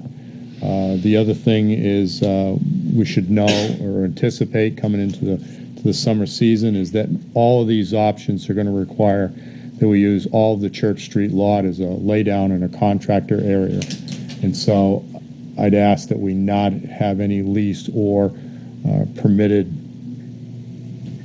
town parking in that lot, uh, including the lot closest to the church. We're going to need it all for pipe. Um, and that uh, I don't know if we uh, could agree on allowing people to lease out spaces in either Island Path or maybe in the Church Street lot on the other side of the, the dirt road. but we're going to need all the room that we have down there just to do this project. What do you mean by uh, the parking lot? Which parking lot are you talking about on Church Street? The, the lot that's around the pump station itself has been used by residents. In the past, yeah. And then there's that um, narrower section of lot on side of a, where there's a rickety fence, uh, which we're gonna end up taking down. Um, I'd need all of that for laydown area, for Turning pipe trucks, materials, pipe- yeah. Trucks being secured at night and the pipe. Equipment being secured at pipe laydown. night, stuff being left there. Okay. With all these options. So uh, what are we looking for tonight, Mr. Welch? That's a good question. I, the board needs to reach a consensus on which way you want to go, and I think what I'm hearing is that we need to um, put in a temporary line, that we need to uh, authorize the uh, special town meeting to ask for an appropriation to put the final line down Route 101 from the pumping station, and to fix the line that's failing out here on Route 1, which was in the budget, because we're going to use that money to help put that temporary line in. Right. So. Are you The talking temporary repair. Not No, I'm temporary. talking t- the temporary line. I think what, what they're, what they're telling me is, and what I see here is that we have a pipe that's four thousand feet long. It has a hole in it, maybe. We could go out there and find a hole and, and, and, you know, seal it and turn the system on, and we could lose a whole section of pipe. There's just no way of knowing without looking at the entire pipe, and we can't do that. There's just no way to do that as to whether or not any more of the pipe is gone.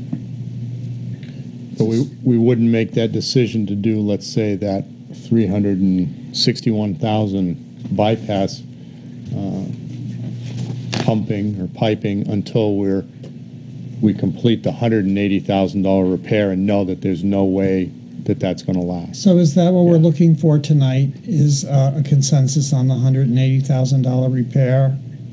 I think that's So where you that's start. where we're going to start with. That's where you start. Uh, That is really start one. We have Okay, to so know if that's we go to start two. Right. That gives you some um, more planning time. Traction.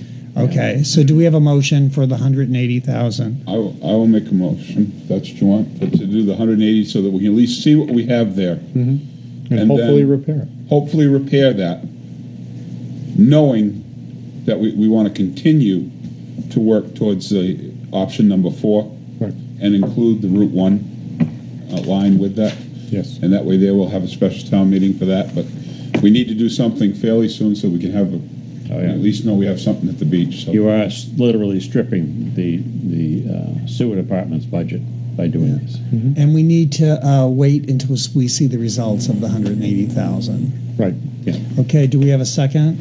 I'll second it, but, I mean, this is the only option we have, right? I mean, I mean, you have the other options, but I mean, this is the only viable option. These are the only viable options, one with And, four. and this option at 180 started at three or four different ways to go about it. Th- th- This 180 is a combination of getting there, materials, pathways, right contractors, and in that there were variables. So thus the time period from when this happened to now, we've got it down to how we're getting there, who we're using, you know, to get the quotes to come up, what we're going to do once we get into the hole. How, how long will this take? So it, we, it, the idea is that we'll look for the emergency permit over the next week, week and a half. We will get everything authorized so that by the March tides between 14 and 17, we start laying and putting down uh, what are considered the mats that our equipment will drive on. That will take anywhere between three and five days to set up the road. That's week one. So I'm doing five day weeks. Week two, so Monday through Friday will be find, de-water, fix. That's expected to last anywhere from three to five days. And then to take apart the road will be another two, three days. So it's over a three week period. Um, doesn't mean it takes the full three weeks. So we're looking to start mid March and finish.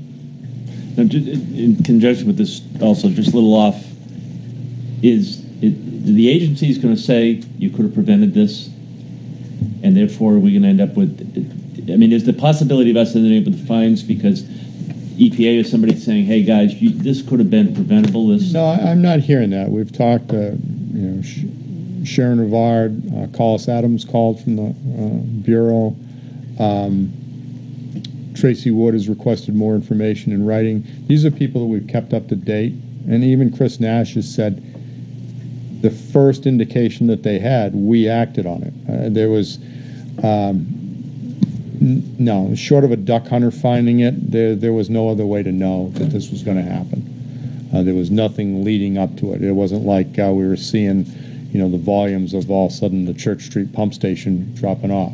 You know, when we tell you the, the, the station pumps out this many gallons of water, a very small percent, probably less than one, was actually making it to the top of the marsh.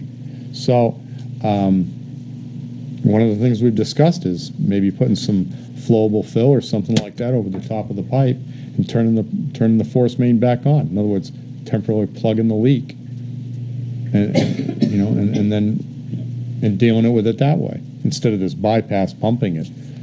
Four hundred thousand dollars. It's like rent throwing it out the w- window. Well, and thus the 180. I mean, in essence, Right. that is it. Hopefully, finding the leak and going, let's close it. It becomes our temporary pipe. We have two running while we go forward and get it out of the marsh. So do we have a second? I seconded. Oh, you did second it, okay. Yeah. All those in favor, unanimous. Thank you. Thank you. Yep.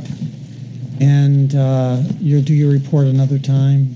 Yeah, a little more, and, and I anticipate being back here uh, several more Mondays in a row, um, just to good. keep you updated. You know, and to Yeah. keep the public updated. We appreciate it. And the people want to know. Right, they do. And it's, it's expected. Thank you. Thank you very much. Moving on to a review of warrant articles. Uh, Do you, you want to join us at the table, um, Mr. Sullivan?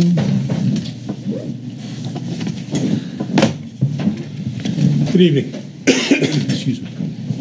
Good evening. So I was asked to uh, come and, and go over the warrant articles uh, related to the CBA uh, and answer any questions you folks have, but also present to the uh, community where we're at.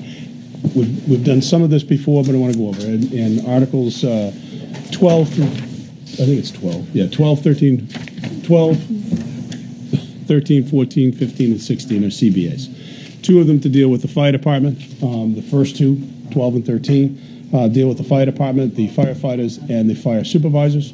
Those are one-year contracts, and they are at 1.75 percent. Um, obviously, the, the board unanimously supported these, and we would ask the public to support these contracts going forward. We believe that they are, are excellent deals for the community, uh, and would ask the voters to support them. Uh, the next two are the police contracts. Um, those contracts deal with three-year contracts, and I'll, I'll sort of group these together. Uh, the next three, which are the p- police patrolmen, the police sergeants, and the teamsters. In general, what we'll say to the public is, um, there's been some information out in the public on these uh, from the the individual who writes for the yellow sheet that uh, I want to make sure we're clear to the public on, and that is the savings that the public can see long term. The big issue in these contracts, as was directed by the board, was to go in and deal with the issue of this Cadillac tax risk that we're going to be dealing with. And that is a substantial impact on the taxpayers for funding what are deemed to be these Cadillac or higher level health plans, which, quite frankly, most of the plans that we have um, here in, and we offer in the town fall into that category. So the risk we saw coming into this was quite substantial to the taxpayer if that tax or when that tax takes place. That obviously has been pushed off for another couple of years here, but we went into these contract negotiations dealing with that issue.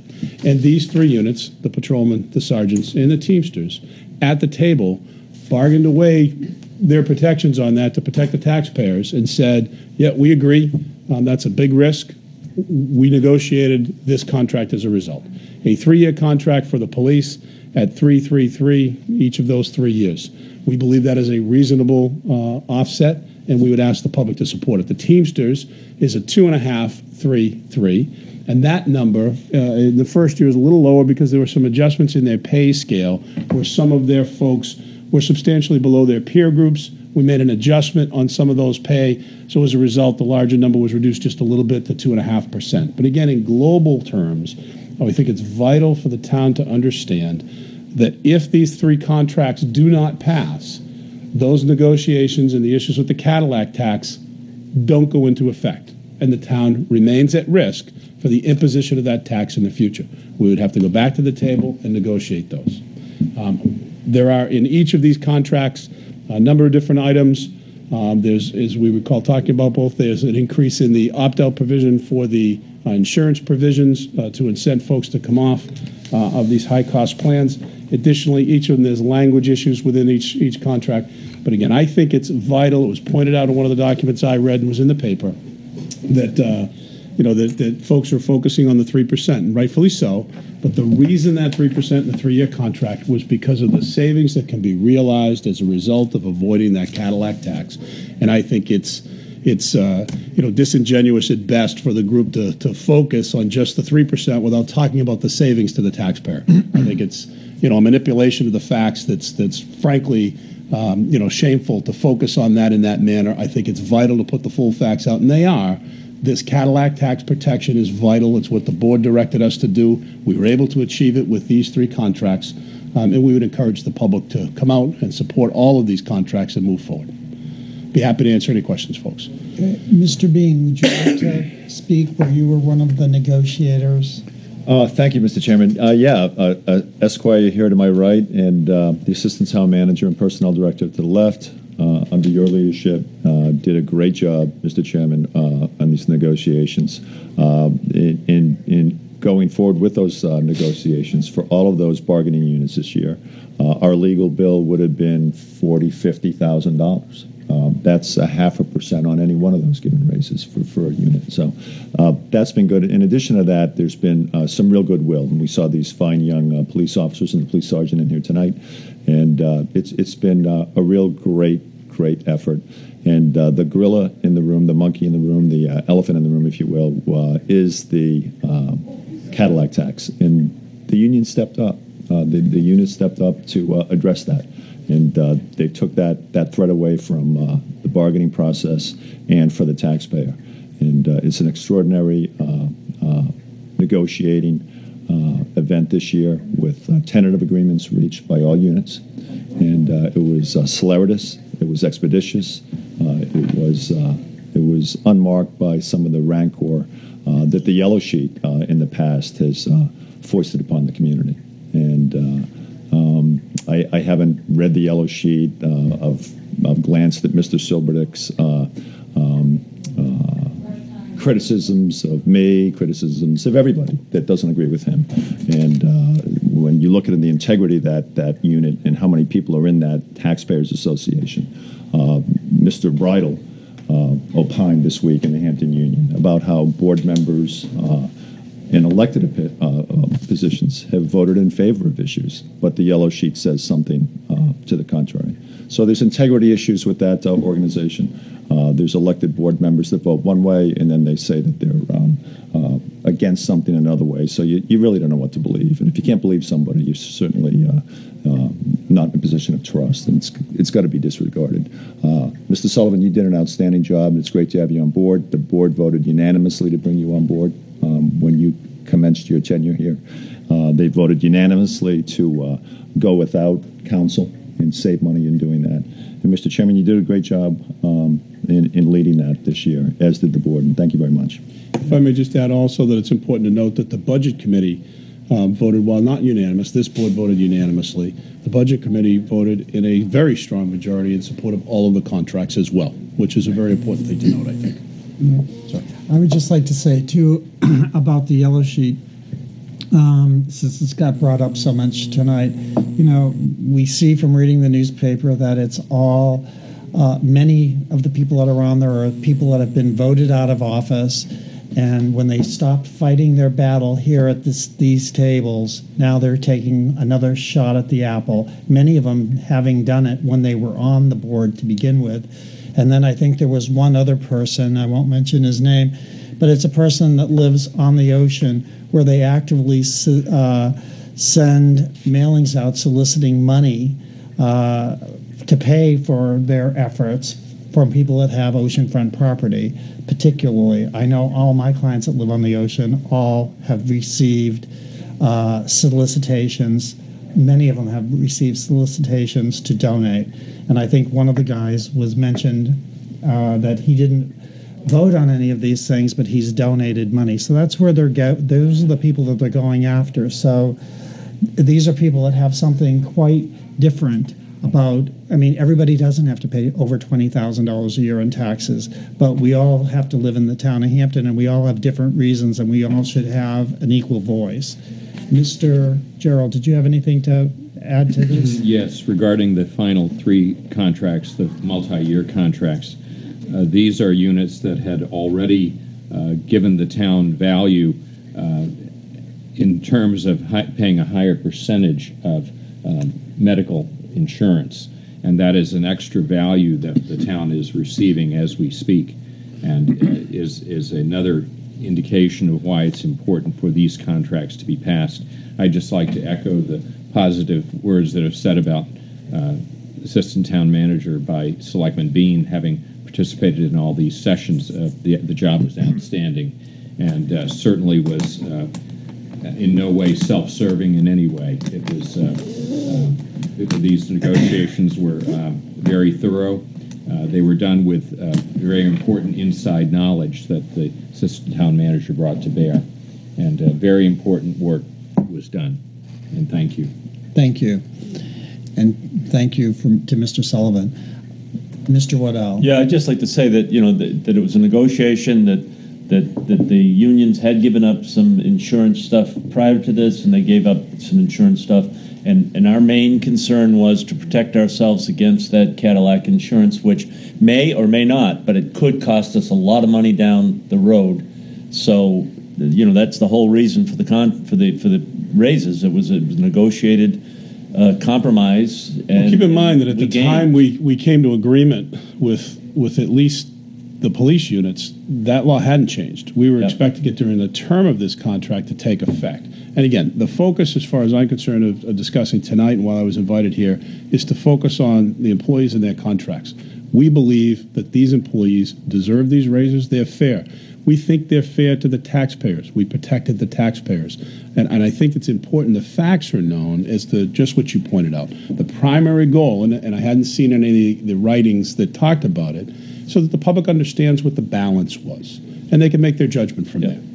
Absolutely. Mr. Bridle. I think they were excellent negotiations. I think you did a wonderful job. It was a good team. It was a good team. We did not need an attorney. We did not need that cost. We had a fairly capable, as was shown, team. Um, you know, it, it's it's been said that there was two town employees that did it. Well, if we hired, if, if but if we hired an attorney, he would be our employee too. So if you look at it that way, so he would be working for us, telling us what we want to do. We save that money. You guys did an excellent job. We have excellent employees in this town. I want to retain them, and they made some good points tonight.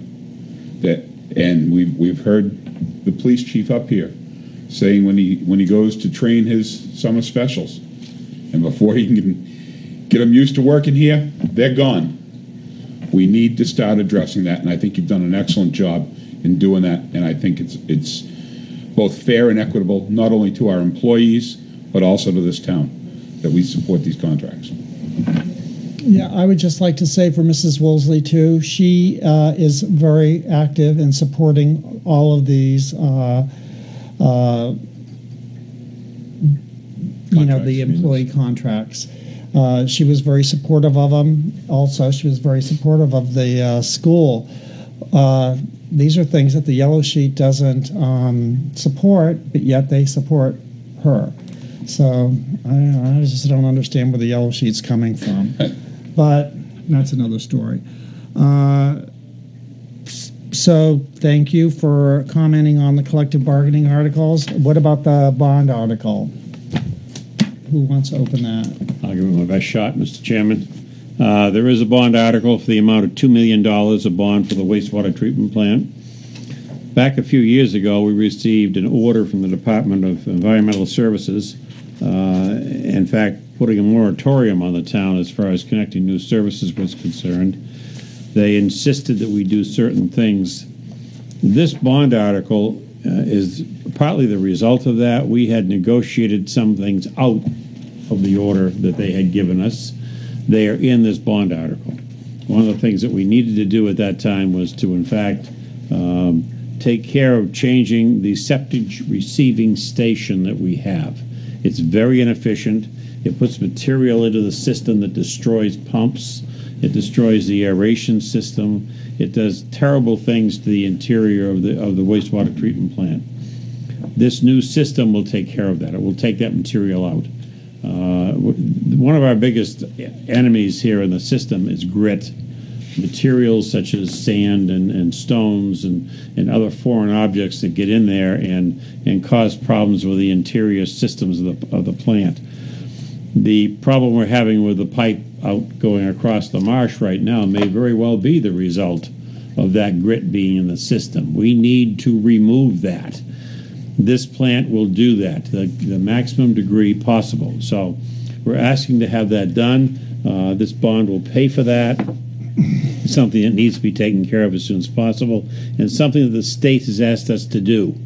Uh, they did take it out of the order, and with the understanding that we would eventually get to the point of doing this. In addition to that, we have in here some additional things. Uh, our aeration system, which makes us a, a, a class one plant, uh, and, and is in our operating uh, permit from the state and federal governments, uh, cannot operate if we have a power outage. That draws us down one class below our minimum requirements. That has to change. Uh, we have a generator at the station now, but it's not capable of running these huge aeration systems in the aeration system of the uh, in the in the plant. So we need a generator. We need to connect that generator, and that's a very a big task. These are very powerful uh, pumps and, and, and aeration systems. Um, we also need to fix the piping system that leads throughout the plant. We don't purchase water from the local water company to operate the plant with. We clean our water and we use the clean water in the plant. The current system does not allow us to do that very effectively. And as a result, we have further problems in trying to process the material that comes into the plant to be taken care of. We also have what's known as a, a pit. Uh, that pit is a, a, a dangerous containment area. Our employees have to wear survival gear to get down in the pit to move the valves to make our different sections of the plant operate effectively. We have to do this on a regular basis. It's very dangerous. Uh, we need to replace that and put the remote control valves in. As a bonus to all this, because this new um, septic system, in fact, goes into a, an enclosure, it's going to be treated so it's all weather. Right now, it's exposed to the weather. Water gets right into the system. When it rains, we process rainwater. That's something we don't want to do. This system will accommodate a, uh, a washdown system for our equipment because it's enclosed. It's not like going to a car wash. It's not like that at all. But it will be an enclosed building, and that material, which by federal law cannot be put on the ground once we wash a vehicle, it has to go into the septic system, into the plant. That will be will be allowed to uh, to do that. It will be contained, and it will be treated in accordance with the Clean Water and Clean Air Act. So we'll finally be in compliance with that act when we clean our equipment. So this bond is very important to us. It's going to take care of a number of problems. It's going to take care of an obligation we have to the state government. And it is one of the few expenses that you're going to see has already been certified as being eligible for SRF funding, which means the state will pay 20% of this total cost. So we're getting a big break on this. If we don't do this, it will be removed from the state list and we will never get the 20% state cost. That list is sort of in a limbo at the moment, but we're pre-approved for this. So that's a big benefit to the taxpayers of this town and to get this system done. In a nutshell, that's what the bond's about. Comments, Mr. Waddell? Yeah, I mean, this is something that needs to be done. It, it, you know, I mean, I think people realize it. It has nothing to do with the pipe in under the marsh right now, but if you don't do this, you could end up with a problem like that in the future. It's just part of the infrastructure of the wastewater that has to be uh, dealt with, and it has to, you know, there are state regulations, there are federal regulations that we have to follow, and uh, you know, it's something that needs to be done. Mr. Bridle. I think he just said it all. It needs to be done. We need to pay and we need to work on our infrastructure to make sure that plant continues to operate smoothly. Mr. Bean. Roger, thank you. It's all been said. Thank you, sir. Okay. Um, anyone else wishing to speak on any remaining warrant articles? Mr. Waddell? No, right now. Mr. Bridle? No, I think I'm all set. Negative, sir. Well, thank you. Okay. Anything else? No, I'm here to answer your questions, sir. I think I'd, I would like to say with regard to Article 24, which may be another of those articles that's opposed by the yellow sheet. This is the article that talks about an appropriation to com- have complete appraisals done on the town's utility properties. I've spent the last few years fighting against most of those utilities, either at the Board of Tax and Land Appeals or at the uh, Superior Court. And the problem is, what we've done in the past is to rely on the state's figures that are given to us. It's been suggested to us, well, why not continue to rely on those? The problem is, and the Board of Tax and Land Appeals has found this, is that the state's figures severely undervalue the value of those utilities. And reliance on, on those and the methodology, the flawed methodology in those, leads us not to tax them fairly. And moreover, when we go to court to, to uh, or the BTLA to defend even those figures, require us to expend a lot of money after the fact on appraisals with outside experts uh, in order to defend even the state's value. I think we're shorting ourselves badly on those. These these are some of the highest taxpayers in town. They need to be taxed fairly, and they need to be appraised at the time that the town-wide revaluation is done, in order to give us a fair shot at defending our our appraisals. And uh, if we simply rely on the state's figures, they don't often even go to court with you on these. It's like pulling teeth to get them to come to court. And when you find out they are there, you find they've they've severely undervalued because they've done that for a wholly different purpose, a state utility tax rather than a local property tax. So I would I would say that uh, uh, this is an article that is is a savings uh, when it comes time to defending against these, and, and most all of them did bring us to court in in the last cycle. And so uh, it's important to be able to defend those, defend them well, but to make sure up front that they are paying their fair, their fair share. Yep. Rick? And if people want to get more information about all the warrant articles that are out there, the town reports are now available. They're up in the town, the town hall up here. Come back, come in, pick one up. If you want to go online, you can go onto the town's website, get a bunch of information there. There's also a website out there called intheknowhampton.org. It is a privately run uh, website. However, it gives both sides of the story. It doesn't tell you how to vote. It just tells you what the pros and what the cons are from what is, and all their information was derived from the town meetings and information they've got around town. And all it was public information. So it's a great place to get information that's in the knowhampton.org. I would also like to point out that Article 24 is another one of the articles that Mrs. Woolsey was one of the five to zero that supported and recommended this, which many people that were from um, different have, citizens have gotten up and said that they depend on the guidance.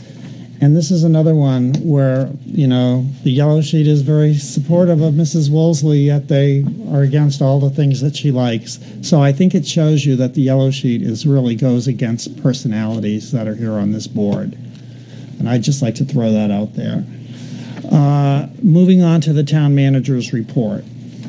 I just uh, reemphasize on 24? 24 should be a yes vote. Uh, it is it is uh, unconscionable. It, uh, it it must border on illegality that the average taxpayer uh, is uh, essentially audited on his property and uh, has to open his doors and and to do that uh, and go through that rightful process for a corporation under law to uh, assess their property. And we had visitors in last week from uh, Aquarion, and we had been up, and you again drive to Concord, you represent, and you are silenced, and you're silenced by uh, those people that never leave Concord. Uh, they hang around the flagpole.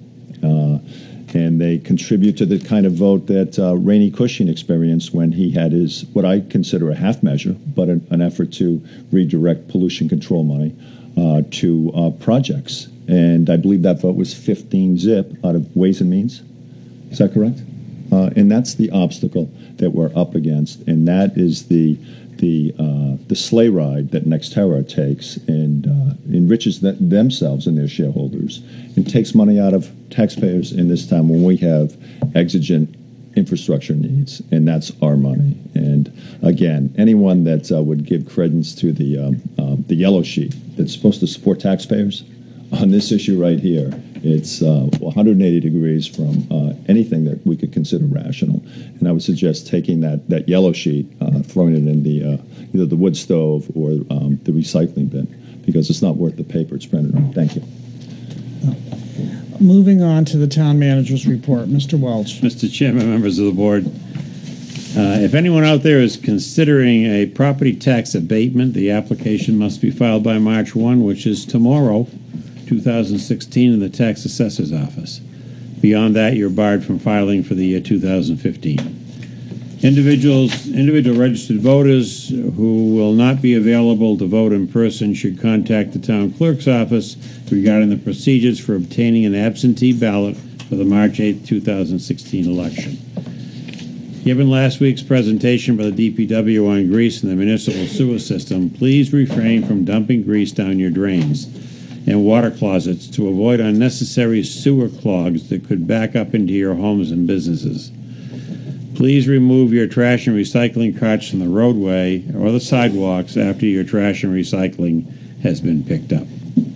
And I guess I want to just go to one thing that was addressed on this uh, revaluation. Uh, when I had the, before coming to Hampton, I worked in, in Seabrook, and um, we had sat down with Nextera to value the plant in a, um, in a pilot program.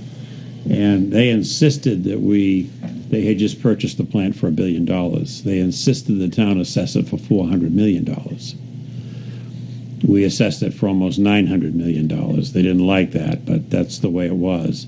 But i'll point out to you that the reason we don't use the state tax values is because the state did tax it for 400 million dollars for the school tax and guess who the taxpayers were who picked up the difference the taxpayers in the state they picked up the difference of over $400 million that Nextera did not pay in taxes. So you just you can't do that. It's just not viable. Thank you, sir. Questions for the town manager's report? Mr. Bridle? Nope. All set. All set, sir. Well, it sounds why it sounds like that's a why Florida Power and Light stock is a good stock. Oh, it's a great stock. Uh, when they're getting tax breaks like that from our legislatures. Go, moving on to old business. Any old business? None for me. Mr. Bridle? All set. Uh, Mr. No, sir. No. Uh, for old business, I would like to uh, talk about where about the part uh, where are we going to be voting on March 9th? to get my warrant out. I don't want to make a mistake, okay? The, the polls are going to be open from, uh, let me read the warrant. You're going to be voting at Winnacunnet High School, Alumni Drive. Um, first session, the second session will be in the cafeteria at Winnacunnet. And the, it will be, the polls will be open on March 8th 2016 from 7 o'clock in the morning until 8 o'clock in the evening. So go to Winnacunnet High School, go to the cafeteria, and you'll be voting there. Okay. And um, as far as the selectmen being there at the polls, does the uh, time that we did it the last time work for everyone pretty much? Well, we have one less, so Yes. it's just the three of us. Yeah. Well, you've Well- actually got two, yeah, Two. I'm Les and Mary Louise. Mary Louise isn't there, so it's only the three of us. Okay, well, no, I understand that. So uh, I can do the four o'clock to later. Okay, what time can you do, Rusty? I'll do the morning. You got you. All right, so so. I'll be there at seven. All right, I, I can come about uh, ten or so. Okay. And then I'll be cover there it till- till- I'll be there we can till overlap four. till about four. And um, then we'll be The coming three of us will have to come back. later on. Correct. Okay, I just wanted to set that, get that going. Okay, moving on to new business. Consideration of board position on Aquarion billing petition to PUC. So, uh, Mr. Chairman, thank you. Last week, the board conducted a public hearing for the public to uh, come and hear Aquarion officials uh, try to describe in detail and explain their petition for monthly billing that's been filed with the Public Utilities Commission. As you may have heard, it's a lot more than just public, than just going from quarterly billing to monthly billing. It involves a number of different facets, going from billing in, in advance to billing in arrears. It talks about um, uh, moving the town's bill for public fire that would otherwise be received in the month of June uh, to the month of January in the next year. Uh, it talks about having a, a shortage in working capital that they would like to defer to the next rate case, whenever that may be. And uh, a number of people in the public were scratching their heads, wondering, well, will that alone result in a, in a rate increase, and how will it be treated? Um, I would suggest to you that the presentation by the officials of Aquarion raised more questions than it answered. Um, what the Aquarion Water Company has requested is that the Public Utilities Commission act on their petition first by granting it and then opening it to a hearing if anyone wants to raise any questions about it. I think that's putting the cart before the horse. I would recommend to this board that we, uh, you authorize me to file with the, with the commission, where we've already moved to intervene, a request that they conduct the public hearing first and not after the fact to allow for the public to come and speak. Um, also, the Office of Consumer Advocate uh, has uh, moved to become involved in the case. So it's not as uh, it's not as simple as when they presented it in the first place. Also, that there have been some discovery requests that have been made by the PUC staff, but not nearly, I think, uh, to cover all the questions that were raised last week. Um, I think we ought to uh, indicate to the PUC that the board opposes the monthly billing petition for us going to in arrears billing for, to in advance as it's been proposed because we would not receive the billing for the second half year until January of next year, which would mean that this we would have raised 250 some thousand dollars half the year by the tax uh, in in the uh, in the uh, tax rate setting process that in fact would not be needed. And um, I think that's contrary to to uh, good good uh, good billing practice, and I'm sure they didn't take that into account. They didn't take into account the municipality needs for budgeting when they planned for their own budgeting. Um, and I would recommend that we bring to the PUC's attention the following concerns. One that uh, Mr. McMorrin, uh, their operations manager, could not explain the costs that would be entailed in going forward from quarterly billing in advance to monthly billing in arrears. I think it's fair it's fair to know what are those costs because we're going to be expected to take them up in the rate. The Aquarion officials were unable to indicate when the next rate case is likely to be, despite their past indica- indications that it will be on a five year cycle and therefore would be expected in 2017. I think they know. And I think they ought to be upfront about it. And they ought to explain that to the PUC. If they're asking that a deferral of working capital expense be deferred to the next rate case, tell us when that's going to be and tell us how much and what the effect will be. Um, the manager has been very helpful in pointing out to the PUC. So far, they haven't appreciated it.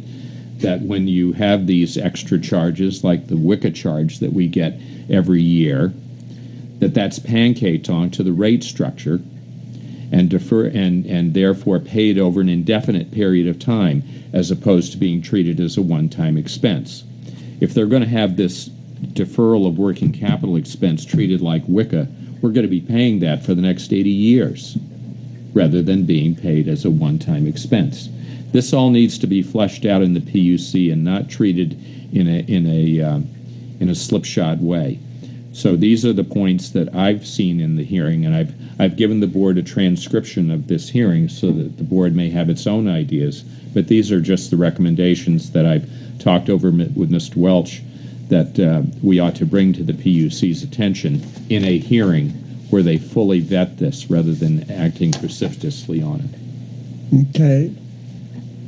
I, I agree. I, you know, I think it should have a hearing prior to the change, and I think the public should have the input into it. So, so I agree that we should.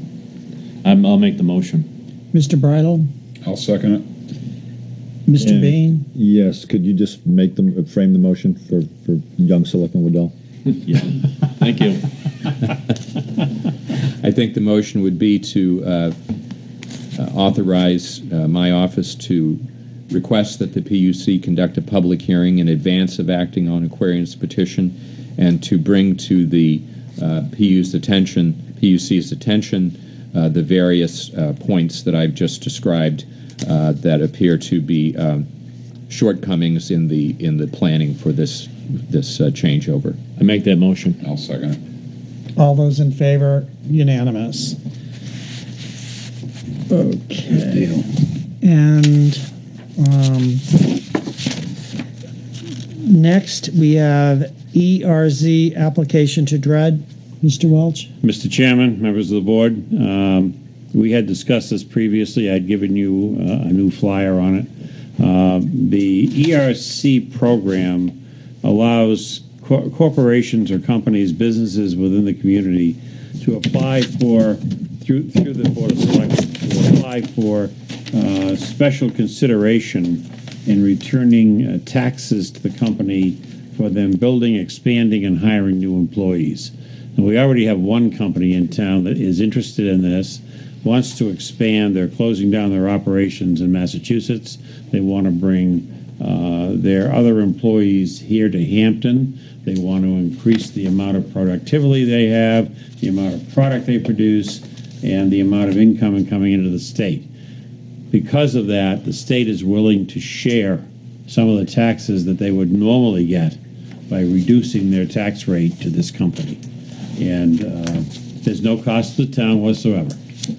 All that we have to do is authorize their participation in this program. They're off and running, the state takes care of everything else.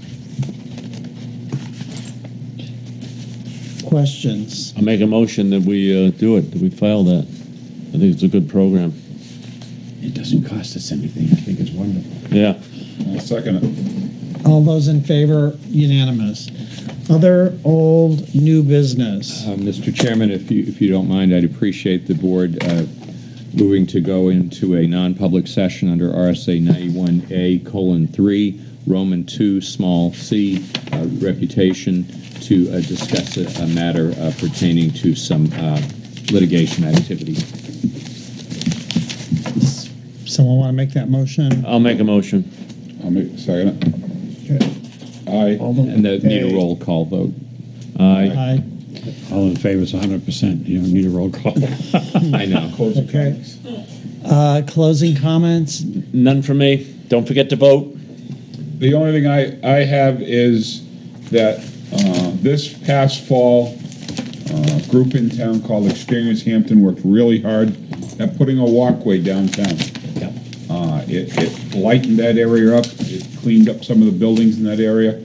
And I was saddened today when I walked by one of them and I saw that the back of the building had been tagged with some spray paint. I would hope that the citizens in the town are better than this. And I would hope that if somebody knows who did it, they would come forward and at least offer to repaint that part of that building. Um, it, it's, it's really a shame to see the hard work that people put into it, uh, to put that walkway in and to clean those buildings up and to, and to make the downtown area better of Hampton. To see somebody that tag it with some graffiti that doesn't need to be there. So, um, so to the parents out there, keep an eye out if you're missing some spray cans. Uh, if you're if you see somebody doing this, please report it. We're working too hard to build up and clean up our downtown area, and we don't need this type of actions. So, thank you. And is a motion I'll make a motion to adjourn. at 2140? All those in favor, unanimous. Thank you.